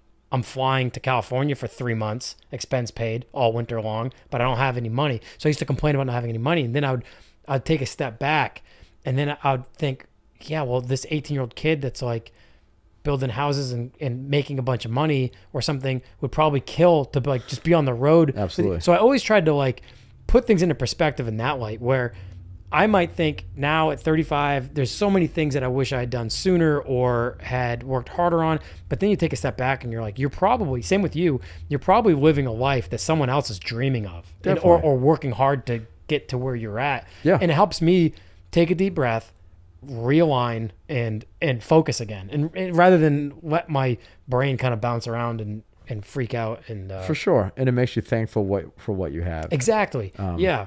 Yep. Because who wants to live a life of regret, and who wants to live a life of Wishing I had. Yeah, I mean, you know, that that that's a it's a long drain down that empty wishing well. It, it- yeah, it is. Um, and it's actually sad.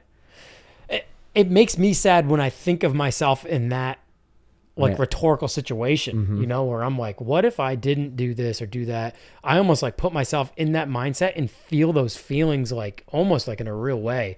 And that almost helps me like build more confidence into doing things that I want to do. And you know, you make calculated risks obviously, but um but that but that's what I kind of wanted to talk about with the barbershop was was that like when you decided to start a shop was that one of those like leap of faith type was- movements or was it just like the next step Uh, no, it's- I mean it was definitely a leap of faith, but it wasn't. I always say that Lucky's was uh, born out of um, necessity, not want. yeah I worked at a shop for about eight years, and the last two years I had subleased the barbershop from the owner and was running it. And um, at the tail end of 2007, um, he wanted to open a a school, a barber school, and had bought a piece of property that um, ultimately at the time was not going to be able to be utilized for that purpose because Yeah. it was just it, you know it needed so much work. And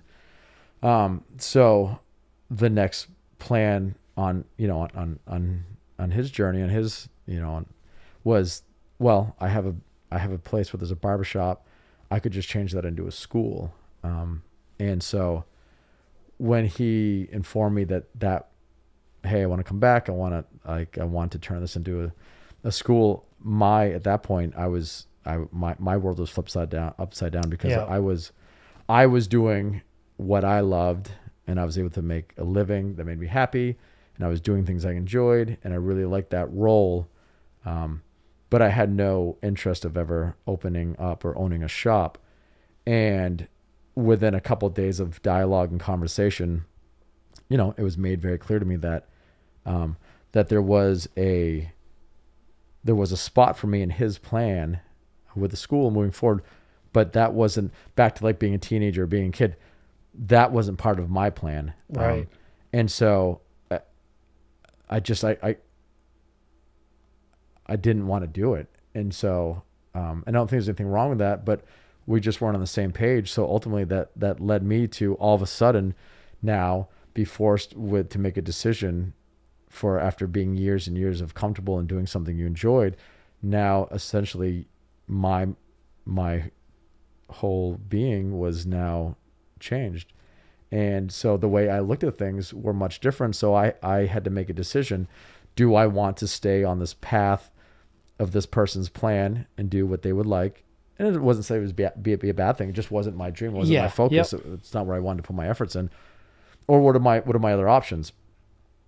Well, I, I back to, you know, thinking the way I had thought for a very long time is I didn't want to be I didn't want to have to rely on somebody else to like to worry about um the nature of of of my not even success but of of my well-being, of my work, of my anything.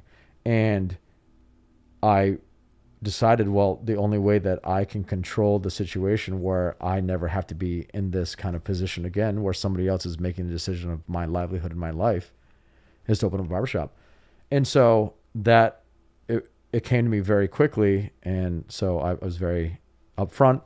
And like I said, within, I want to say it was two, three days tops, we had had the, the initial conversation. Hey, uh, um, this is what I want to do, but I'd like to be part of it the next day, oh, you know, going home freaking out, like I'm losing my mind. next day, cutting hair, freaking out in my head all day long, trying to keep composure. Conversation later that evening. Um, hey, so did you have time to like think about it? Yeah, I don't want to do this. Um, well, what are you gonna do? I don't know. Uh, I me saying I think you should rethink it. There's a lot of history and a lot of just a, a long lineage of um, people that had gone through this barbershop for decade, you know, almost 100 years at that point. And I was like, I think you should rethink it. And then to the third day of being like, so did you reconsider? And I said, no, I didn't. I didn't reconsider because that's not what I want to do. To that night, finding like an ad in the paper for an office space, and essentially leading up to opening my own barbershop. Now, How old are you at this point? um, I was 20, 27. So probably Uh, yeah. like ready to. Yeah, I mean, I know? get so. Yeah, I was, you know, in many ways, I, I guess I was, I was prepared um, mentally. I was prepared. Um, finan- Well, no, well, I say financially. I mean, it's not anything I saved for. Right. I had right, a right. '53 Chevy Coupe that I sold, um, so I could open up the barbershop. Um, I that that's yeah. Um, I, Well, well, I mean, we we haven't talked about cars Yeah. much, but yeah, we're both so I, cut from that I, same I cloth. sold my I, I sold my 53 Chevy that I mean I would have driven this thing to California back and not thought twice about it but I sold that so it gave me back to like it, it gave me a, a way a means to be able to do this um, Well, we've we've talked about that, not that specific story, but like I sold the '71 long wheelbase Mercedes to buy my first laser machine. Yeah. So I I get it. it, and my old man said to me once, you know, and so this is the thing is that, and especially if I, I don't know, like I didn't grow up with many things. We just we weren't able to have things. So like I, I looked at other people, and, and I guess in some ways was envious, but my mother would always try to like impart like be thankful for what you have yep. because even what little you have is more than others have. So as you get older, you realize those things. But in return, getting older, working hard, and like filling in a couple of those spots with like cool stuff is pretty neat too. It's fun. Yeah. so, um, but I was like, oh man, I don't want to sell this car, whatever. And my old man was like, go listen. You didn't have the car before. You worked hard. You bought the car. You had some good moments with it, and now you've got another set of challenges. So take that car, sell it, make somebody else happy, take the money, put it into your next thing. Right, and that will and get then, you to the it's, next step. It might not be a car, but it's a step in that right thing. It's doing something that gives you joy, makes you. And I go, I go, no, no, no. But I don't want to sell the car because you're not listening. You're like, and Yep. so uh, you know, back to yeah, I get it. Okay, You're preaching to the later- choir. Oh yeah. I know that feeling all too well. So yeah, but so essentially, like I said, so sold the car, opened the shop, and I I I guess I had um, been for many years, even especially the last couple of years, subleasing the shop, managing it, running it, cutting hair, doing those things. I was prepared for it, even though I didn't know it. And Yeah. like I said, if and if that didn't happen, if something hadn't changed on his horizon, on his plan, and his goals in life, that at the time ultimately changed his pers- perspective and view on what he wanted to do. Um, it's a domino effect, and it changed mine. But if that hadn't happened, I very much well could be in the same place cutting hair, and you know what? Honestly, maybe happy. I don't know. Um, Yeah. But in return, owning a shop and having that responsibility of, I mean, I, I tell, and it's expanded. I'm very fortunate as it's grown over the years, but I, I I've made a promise to myself and to the barbers who work at the shop and the customers that they will never have to worry about on my watch being worried or concerned if they will have a job to show up for or if they will have a place to come get a haircut to because that that feeling of desperation and loss and um it it, it was um it was scary it was you know Yeah. made me sick to my stomach and um that might seem like people might not understand or get that but when you're feeling comfortable in life and you have made a life for yourself whether it be through work or through friendships relationships like and then the world is flipped upside down it's devastating Yeah. um, so I, I try to, and, and by working all the time and, and trying to do these things, I'm trying to fulfill that uh, security um, to myself and to um, to my my people. You know, You know, it wasn't until I met you uh, and kind of learned more about like your um, your passion towards like being a barber and cutting hair that I didn't. I had never even like. I love the fact that it's it's part of your DNA because even like anyone who follows you on Instagram or or and sees the videos that like you know of you talking about even if it's just a post you know in text you're talking about how important it is for not just you and the barbers that you have at the shop, but the people coming to get a haircut. Like I'd never even thought of it in that light before. And I mean, other barbers, I'm sure, share that because it is your passion. Cutting hair was never my passion, so it was it was such an awesome exposure to that because I never thought of it before. Like I'd go get a haircut. I liked, I liked. Your shop was the first like, like v- like traditional style shop or because that was right around the same time that I started cutting my hair different. I just always used to buzz cut my hair and just Mm-hmm. Yeah. and did it myself. Yeah. and once I started sitting in your chair, I, I like immediately got it because I, I liked the idea of I just like the 20s and 30s through the 50s. I just like that era, and I like the I like the idea of like sitting in a barber chair and like it's like an experience every time, even Definitely. if you're doing it once a week type deal. And I love how you've kind of encapsulated that and have been able to like uh, convey that to people who don't speak the same language. You know? Uh, You know, it's fun. I, I, uh, and I don't even know if I looked at cutting hair, um, that way at one point in time.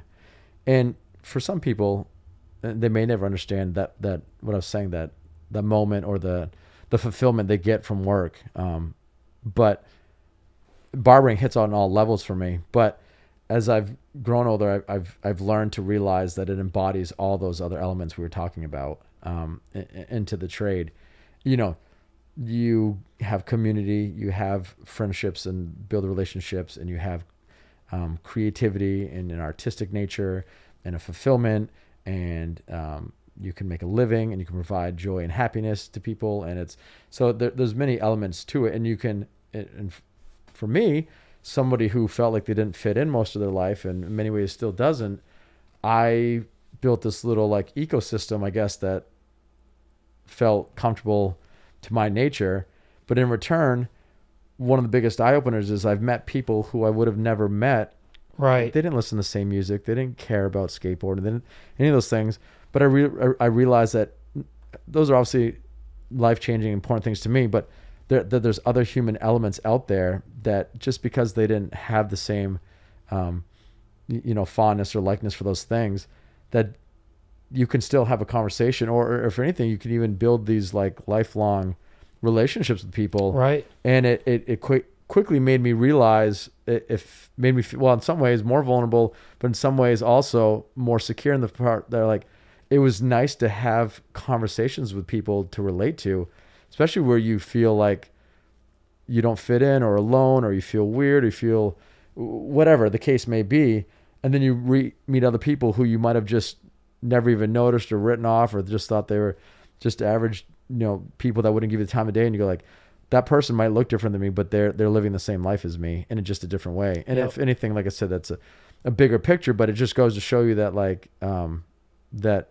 you can find solace in a lot of different things and a lot of different people and for the barbershop it opened up my eyes and exposed me to all sorts of different different types of people um, and conversations and thoughts and ideas that I forever uh, am grateful for that I don't think um, college or book could have given me. Right. And I'm not like Yeah. said denoting those things. Right. I just that's human experience. That's that's hands on like one on one, a conversation like that people share and learning and listening and asking questions. Yep. Um, and I'm a constant student of I, I, I guess of that part of life that I get through the barbershop that never gets old.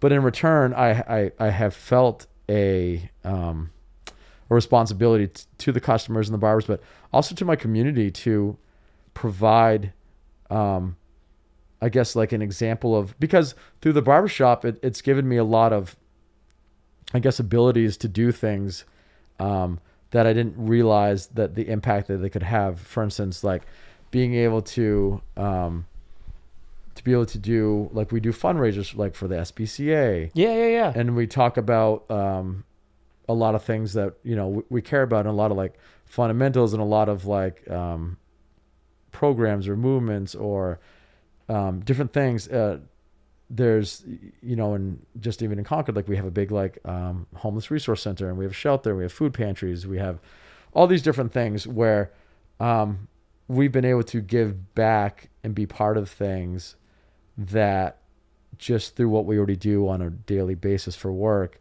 right. we realized it gave us the ability to help um, other people. And for me, I, I, I don't know if I realized that. I think as a young person and even early into my career, but after opening up the barbershop, I, I began to see the power uh, or the ability, I guess is the right word, to, to be able to reach and help other people that, that need help that, whereas um, I, I it makes me feel good. Yeah, I mean, it, I mean, and what a fulfilling feeling that is, you know, because you're still practicing your your your art and your passion, but Yeah. now now you're reaching so many people and changing people's lives, and even on even on a day to day basis, you're and I'm sure over since you've been doing it this long now, I'm sure you've actually you've realized it yourself, but I'm sure you're a therapist in most ways to some people. There's some people that come in and sit in the chair and like just having somebody to listen to them, I'm sure helps significantly with what they might be dealing with. you know? Definitely, you're not wrong. And uh, in many ways, sometimes I feel like I'm the one in the chair.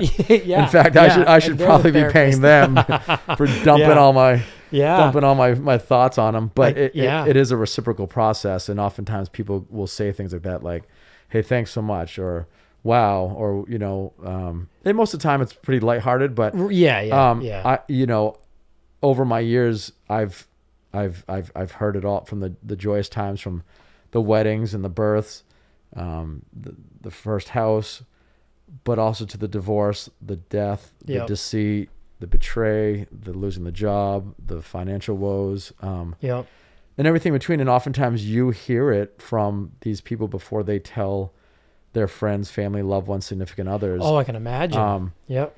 and so that's a powerful thing and that's a heavy thing. And it, it I, I, I don't take it lightly. And I feel very um, fortunate in many ways that I, I guess I can be that for that person because I'm sure, I'm sure I've tested the waters and told people things without realizing just about how I was feeling. Yep. Um, and this year specifically 2020 obviously is a very difficult year for many reasons.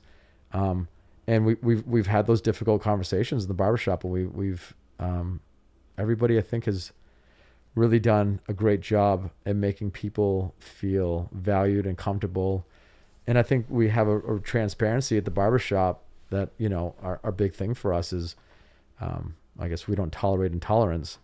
Yeah. And so to make people feel welcome and to feel valued and to feel cared for and to feel like they matter and to have a place free of judgment, um, especially in this time period, if anything, I think holds a lot of weight for people. And this isn't like a gimmick. This is just how, this is how we live. This is how we are. Cause I think we see the world through a bit of a different lens than some people do in this world. So, you know, we're, we, we're, it's like for the people by the people. Um, and so it made me realize that just because we might look different or listen to some different stuff that, or think differently, that there's a lot of other people out there that feel the same way. Um, that- Right. you know, that are cut from the same cloth. So, you know, it, it's, it's, it's kind of a weird thing. It's like, um, it's almost like a, like a filter, you know, like nowadays online, you can filter the, the things you're looking for.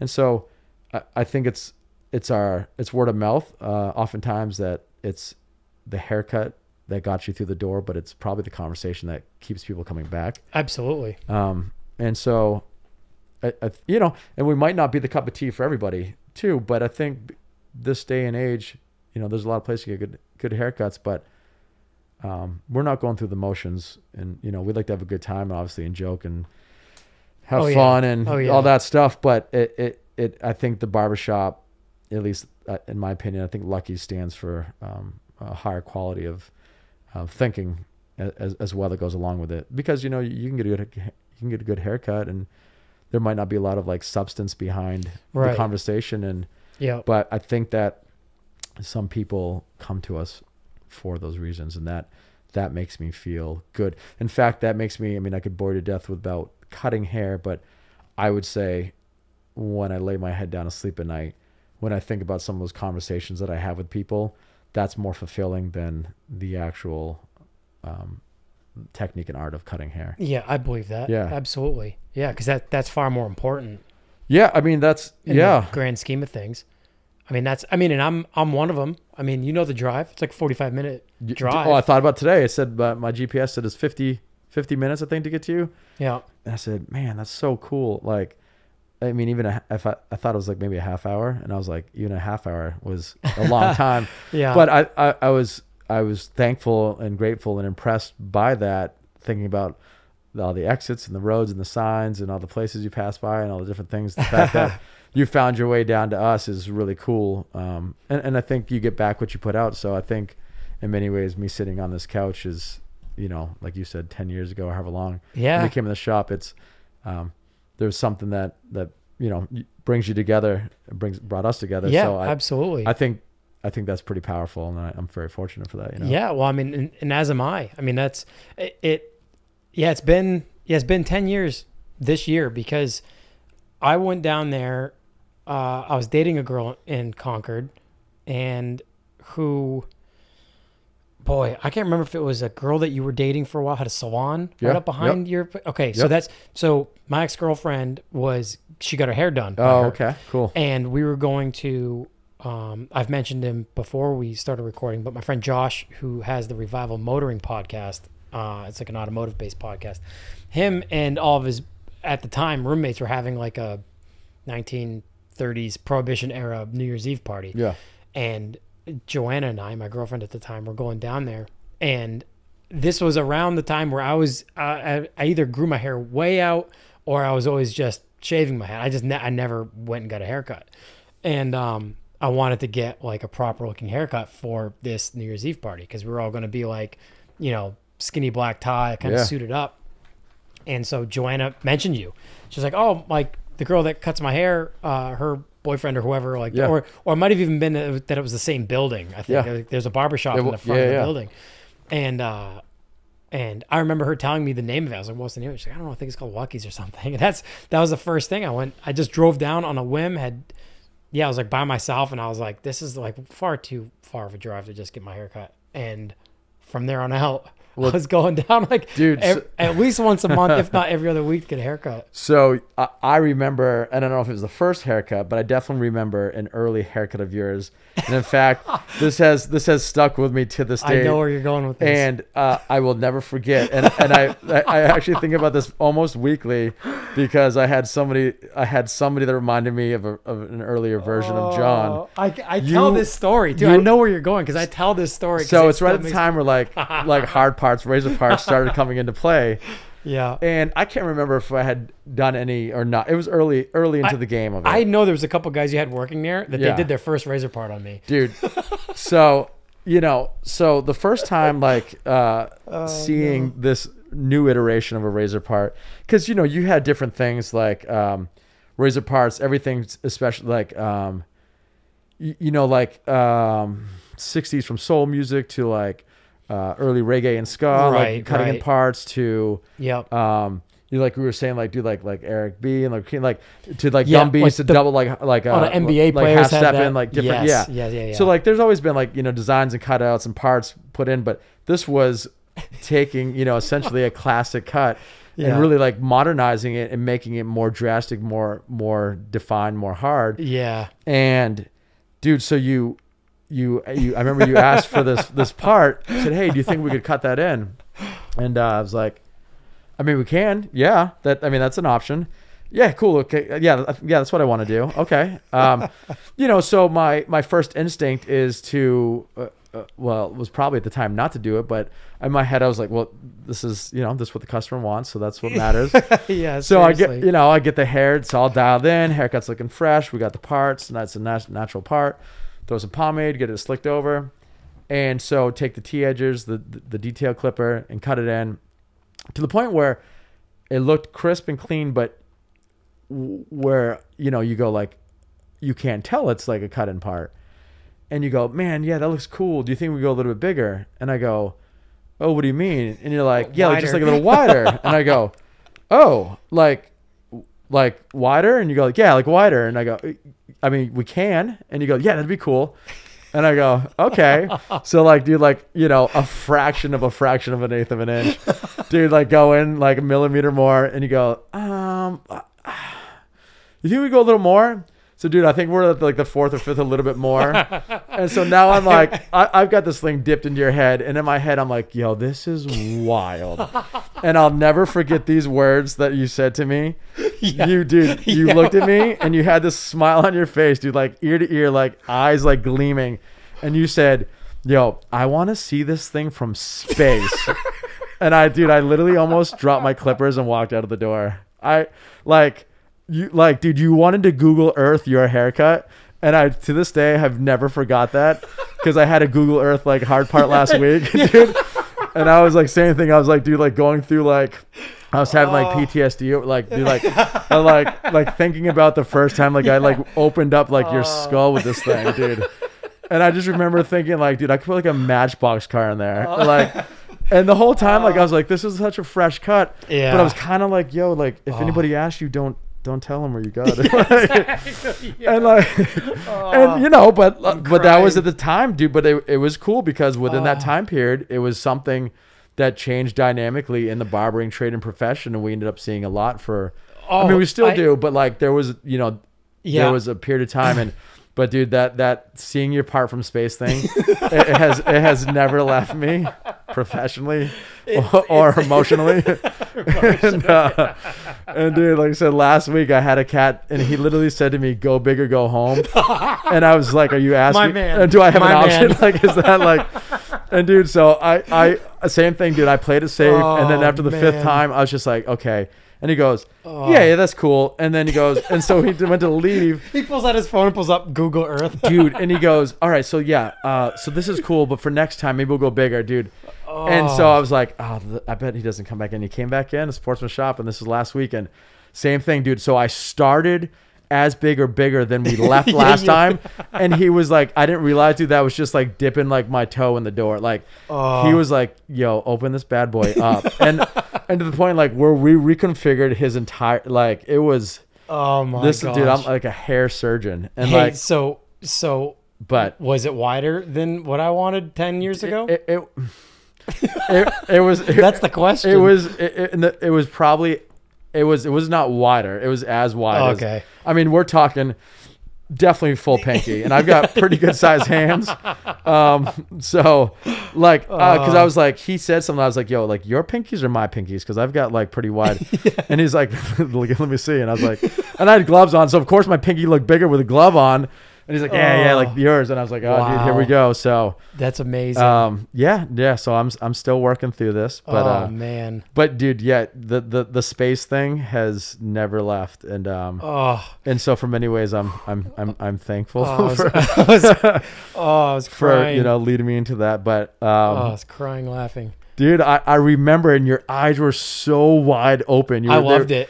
Oh, you were stoked. I loved it. you were stoked, and everybody looked at each other. And in fact, they probably looked at me and were like, "Yo, what did you do?" And I'm like, "No, no, no. That's like what the customer wants. That's what we're here for."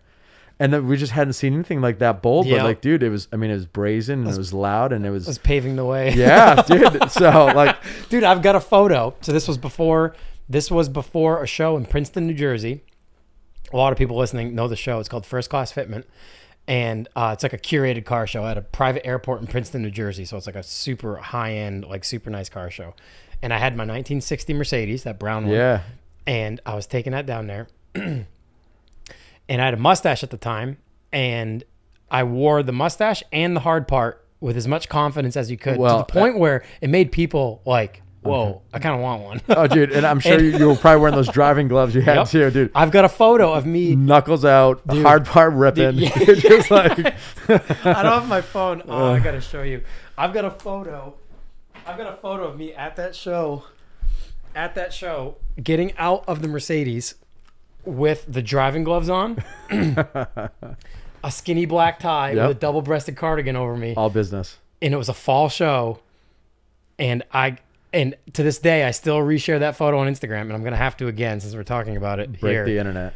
and and I still yeah I've got a photo of the Googled Earth Google Earth hard part oh. dude that's it right there Yo. So from afar, it doesn't look bad does it it looks great. see I get I wasn't gonna like be too like conceited about it but I get compliments about that haircut all the It time It was a great haircut. And even though you, were wore mortif- well. even though you were You wore it mortified to cut it.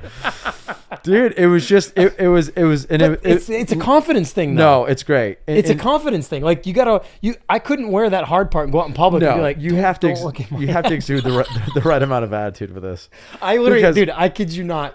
So after this weekend, same cut. I flew to California. Yeah. And I was with a, I stayed with a buddy of mine. His name's Matt Crook. And Yep. he owns a wheel company called 1552. yep And we are in his shop and he's got uh, a Mercedes race car, like a Mercedes 190E race car. Yep. And I was helping him work on it. And I was laying underneath, cutting, I was cutting like, I had like a cutting wheel and I was cutting like some like suspension bracket off because we were changing the suspension and this like bracket had to go. And he took a photo. I was like laying under the car and he took a photo. he took a photo of me just working on the car, right? And I shared the photo and it's me in a white t-shirt, like 1950s looking, in a white t-shirt laying under this 80s car. Yeah. Cutting, you know, using this cutting wheel, and and this dude, I'll never forget it, commented on the. I shared the photo on Instagram, and he goes, "Yo, did you use that same cutting wheel to cut that hard part?" Because all you could see, good. all you could see was like that part of my head. Oh, yeah. And he literally was like, "Yo, did you use that to cut your hair too?" love and I was like, "Oh my gosh, I love that. Killed me." But as you can see, I don't have uh Yeah, it's all natural now. That I, was a time. Yeah, and it's Yeah. It, but it's cool because that was I lived it. It's okay. because people always go like, "Yo, like what's what's the new thing? What's coming out next?" And I go like, "Oh, I, I don't know." Like, um, you know, we're we're very creative, but I, I'm Yeah. not ba- back to like. Here's the thing: there's a lot of like cool stuff, like wild stuff, like just crazy looking stuff, and a lot of barbers and people put that out there, and it's cool to see you're creative and artistic that way.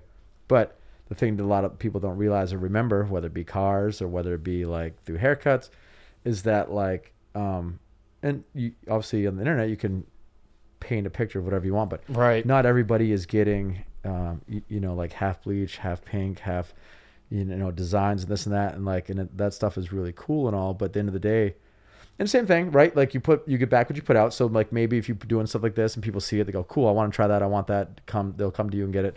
But at the same time, is back to like, I'm the type of person as as somebody who wants to make a living the rest of my life and being a people pleaser. Nor does it bother me. I want to give you what you want. So Right. that that fulfills me. yeah Um, and uh, so b- you have to figure out how, how or maybe you shouldn't have to, but I also don't. The, to me, it's not like scrutinous or, or, or monotonous of doing these different things. I like doing all the different types of haircuts because it's the conversation, essentially, like I said, also that sets people apart from each other. right. But you have to be able to, or at least in my opinion, um, for a long successful career, and like, and not just like hopping on any trend. Like you have to be able to like curate yourself to appropriately offer service to all walks of life. Yeah. Or at least I want to. Yep. I don't want to only like have one type of haircut define me. You know. Right. Yeah. Exactly. Um, and so, like I said, there's nothing wrong with, but people sometimes put things out there like, um, you know, not every car is airbag, not every haircut has a hard part, not every. And so, Yeah. and as, as cool as those things are, and as much as you enjoy doing them, or it's nice, or maybe it garners more attention. Um, living in the scope of the world, at least like in my trade, uh, I want to be um, proficient at being able to fill in the blanks and give people what they want, no matter what it is. yeah, and be versatile. Yeah, definitely. Yeah. I don't want to be a one trick pony. You Yeah, know, I, I, yeah. I don't think that has not only I don't think it has a longevity to it, but I also don't want to just do one thing or be known for just one Yeah, thing. I mean, and, and you'd get bored at that point too. Definitely. I mean, I'm the same way. It's like I. That, that's why I like so many weird different cars. It's like it's it's it's and it's almost in the same light. If I was building cars for people, I'm sure. Yeah, like your haircuts, someone would be like, I want like it done, like, and you're like, uh, yeah. okay, Yeah, and, and, it's funny. know? Yeah, for for many years, you know, people I guess associate us with doing just these clean classic haircuts. Right. And, um, but I've always said like, you know, I don't care what hair's attached to, who's wearing it. Well, I've been what- in there like- enough over the years now. I mean, I saw a decade of going in there. I mean, I've been in there a bunch where I've seen somebody, uh, boy or girl, with like long hair, Yeah. and get like a cut where the hair stays long. It doesn't it doesn't get some high fade. and we and we love that stuff. And yeah, like, yeah, um, yeah. And I pay attention to that. Yeah. If I see them, like, if they're like in a chair behind me, and I'll, I'll just like watch in the mirror the whole time because I'm like, this is awesome. I don't see Sure. every because yeah, more often than not, it's some younger guy or even an old timer getting a getting a crew cut, flat top, or a high fade or Sure. something. Um, so it's, yeah, it's cool to see to see that, uh, especially someone who's got like someone who's got like a completely different makeup of hair. You Oh, know, like like super curly or like naturally like Yeah. like, real tight and curly or something. And, It's great. We love it all. Like there's there's nothing I don't want to do. Like there's nothing you could throw at me that like I wouldn't like. hey, for you at this point, first. for sure. Yeah, I mean, And I, I, I yeah, it'd be like super that. intimidating for me because I've never cut hair. I'd be like, I don't know what to do with hair like that. Mm-hmm. That'd be so crazy. Yeah, and I'm sure a lot of that comes with time. But I've also just sure. like, I, I guess like you said, like when you picked up a bass. I mean, I don't know anything about arpeggios and all this different stuff you're talking about. I mean, I know like you know I'm Yeah, aware yeah, of what yeah. they are, but some people they just they can read the language, they can see it, they can like you know uh, Right. ob- objectively you can look at something and see it, hear it, feel it, and you know like how like you're going to build um like the diagram in your head to get from like point A to point B. Right. And not Yep. everybody has that. Um And not everybody goes the same. no, way to get there. for Yeah. sure. Even Yeah. within our own shop, like you can get a good haircut in a chair, you can get a very similar look in different. Oh, everybody cuts my hair But- different in there for yeah, sure. and that yeah. that's what's kind of cool too. Like, and and I was saying earlier about like surrounding yourself, you know, with people, um, you, you know, essentially, I I think the idea of like, you don't want to like clone yourself. Or I guess it's kind of coming full circle. right. But like I find if you if you surround yourself with people you admire or respect or appreciate, um, they have so much to offer. So I I know for me as a business owner and as a barber and as a human, surrounding myself with different types of people who embody different things that I appreciate, that may be even ultimately far varying and wide widely different than myself. I've really come to like appreciate those things even when they felt uncomfortable or different. Um, Yep. And so I think that's how you learn and how you grow. Like you know, um, and, and you have that constant. So both sides of the chair. So you're surrounded by people on a day to day basis that you can not only tolerate but appreciate. And then in return, in the chair, you have so many different walks of life of you know, uh, and and and it's great. It's it's never the same thing over and over. Yeah. Um, Yep. a- and and I've had people say like, "Oh, do you ever get bored of this?" And it, you know, twenty years in, I it's no lie. I mean, if you've ever come to the shop, you you can tell that we you know really enjoy it. Um, and it's if I if I didn't, I wouldn't do it. You know, like, it's just the type of Yeah, yeah, person I am. Like Yep. no one's Same. Yeah, my hand has never been forced with anything in life. Like I won't, uh, not you know, like I said, not it's not a, a tough thing or it's not a cool thing. Like, but it's your life. You need to do what makes you happy. And I know that's not always easy. No, to like, hardly you know, ever like- is. but it is your life, and you you really like I, I and I fully support and I want people to feel empowered to do the things that make them happy. And I know the older you get, the more difficult it is. But it's not fair to yourself, and ultimately, it's not fair to the people around you if you're not happy. Because then, how can you provide that, like that, that support and that care to other people if you're not giving it to yourself? You know. Um, Yep. but it's it's you know it's um it's a it's a weird thing to like when I, when I think about like I said I've met so many people and learned so many things that I I really couldn't have imagined that I would have ever got if it hadn't been for traveling or for music or for cutting hair um and I don't know if people in the like you know the 9 to 5 office job if they if they get that kind of um that education, that kind of like evolution of their of their brain and their life. I, I don't I don't know. Yeah. Yeah. It, and it's because we don't do that. It's it's hard for me to think that as well. Um, I think that's a great place to end on, though. Yeah, That's a that's a great that's a great uh, kind of uh, words of wisdom. I mean, i I've gotten that response from a few different people I've had on who who have pursued a life of passion for the most part. You know, like like started their own automotive shop or started a car show that's like ground them into the ground. But it's like over the years, it's they've been able to cultivate something that supports them but brings the community together in a way and and now they're like fulfilled and and I'll I'll hear from all sorts of friends being like man that like motivated me to like start thinking about what I really want to do and what so I I mean that's that's invaluable I think people that listen to podcasts I mean I'm one of them I want to listen to somebody who yeah like took the reins and said I'm going to I'm going to do something that I'm not going to waste my life or I'm not going to let my life pass For me sure. by I'm going to go I'm gonna go do it and uh, and do it to the best of my ability.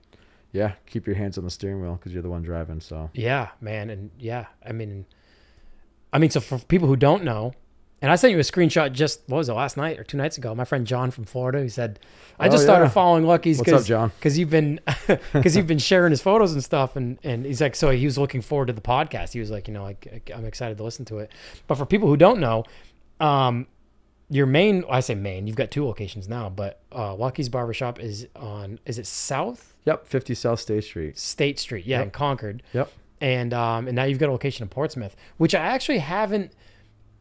I, I knew when Ryan was in there. Yes. I'd been in there, That's right. Yeah. and then you were just had a couple chairs in the back room, but I actually haven't been in there since you've taken over that whole Yeah, unit. it's Um, cool. It looks awesome. In Thank photos. you. Yeah, it looks that, great. That's in Portsmouth. That's 801 Islington Street, and it's uh, they call it like the West End. It's the I guess uh, for lack of a better phrase, it's kind of up and coming area, sort of. It's more- awesome. You get your feet planted. Yeah, you know, even even in just under four years, um, there's been so much growth and development in the community in that section of town where Yep. um, a lot of a lot of people are really like they're they're flocking to and moving to, and businesses are flourishing, and that's great. um, you know, and I think that just like this, whether it be cars or cutting hair or wherever it is, you, you need to find your community, and it's out there. You know, Yep. it's it's no matter how alone you feel, there's someone else out there that that that thinks and feels the same way you do. So, you know, you'll you'll find it. You'll find them eventually. You know. yeah, absolutely. So, So Concord and Portsmouth, uh, Lucky's Barbershop on Instagram. Yep. That's it, right? Just Lucky's That's Barbershop. it. That's what I thought. I think so. One one word. Yeah. Yeah. And um, yeah, you're pretty active there. So you posting now that you got two locations, you got enough content to keep that thing. I tr- you know it's yeah it's another vehicle I guess it's it's a weird thing. Um, well, but- what's up with? Did you kind of put your podcast on the back burner, or you kind of just was that just kind of like a one and one trip and done kind of thing? Well, I, I, this is, I guess, technology that I'm I've been trying to learn and work on, and back to surrounding yourself with people who are, um, a lot of the a lot of the people at the shop are are pretty well well versed in a lot of technology. So I've Right. I've come a long way, even Yeah. from over you know uh, never owning a computer to um, the first decade of, I guess. Owning a business, or even what's that? You know, 17, 18 years into barbering, not having a website, to- right. Right. uh, having social media and Instagram, but it, it is a way to communicate with other people. And we're like I said, we're we're fully transparent. And so you know, if you like cool cuts, like it's it's cool to check that out. But also, um, if you kind of want to see sort of how we hear and how we feel, and that we're you know we're we're right there with the people. We're we're you know we're we're right aligned with um, we we want to be in this kind of world moving forward, we want to align ourselves with other like-minded people who really are, um, you know, are outspoken um, and empathetic and compassionate about the things they care about. And if that means, you know, respecting others and sticking up for people that need help and, um, you know, really wanting to um, try to, I guess, help identify injustices and work on yourself. It's it's it's a great tool to be able to connect with whatever it is you're into. But um, this day and age, where uh, during this pandemic, where obviously we have all been living in a time where you can't communicate the way you used to with other people, and you can't um, be as close in proximity with people. We've all learned that like there's a there's a deficit there, and um, I think through these times of struggle, um, through the pandemic, and um, through Black Lives Matter and through Pride and through um, you know senseless police brutality, I think a lot of people are really using these um, outlets as uh, a way to communicate and to try to like express how people feel. And I think it may not be um, for everybody, but in the barbershop, like I said, we're all very genuine people who not only love and care about what we do for work, but we care about the people that sit in the chairs and I'd say a lot of people identify with the same thoughts that we do, and um, and I think it is good to to grow and to learn and to listen to people with different ideas than you. But um, we have utilized things like Instagram to convey our messages to let people know that they are safe and they are welcome at all times at the shop. So that's that will always be important to me. So, Yeah, and you guys do a good job of, of simply by leading by example. You know, like if somebody comes in and and they sit in anybody's chair, just the yeah being treated with respect and yeah, yeah, I think I think I mean because I'm I mean I've I've seen you go through. I mean, I think James might have been there in 2010. Maybe no, I don't think so. yeah. I mean, we've you know we, we've definitely the, the barbershop has evolved. Um, Right, but I'm just saying, like, I, I even from day one, I can't remember if, if you're the last standing person that's that was there in 2010. That's still there now. Yeah, But but it's like it's it's it's always you've always kind of kept like even if it's somebody's only only been there for like a short time, it's like it's, there's always been the same uh atmosphere. Yeah, and in I there, and I want good. people to feel from the first time they walk into the shop that they have as much um, right and privilege as somebody who's been coming in for ten years or longer. Because right. Yeah, yeah. I, I think that that that says a lot about the way you treat people, but also the way you run a business. Um, is you have to take care of people because essentially those people take care of you. Yep. It doesn't matter how good you are at whatever trade it may be, if you're not genuine and you're not honest and you're not um, I guess, a decent person, you don't treat people with respect and care, ultimately those people are going to stop coming Oh, yeah. back to you. You know what I mean? And people work hard for a living, and so when they come into your business, you want to make them feel like they're important, they're special, but like I said, in a, in a very caring um, way, so that like we're, we're no better than anybody else. So you come to us like you like we need you more than you need us, right? Right. And so Yep. that that Yep. that attitude will always be there. It's a good attitude to have. Yeah. Yeah. So we're we're very thankful and we're very appreciative, and uh, the barbershop has given me more than I could have ever ever imagined. Well, that's awesome, man. I mean, and that's and that's inspirational to not just me, but I'm sure to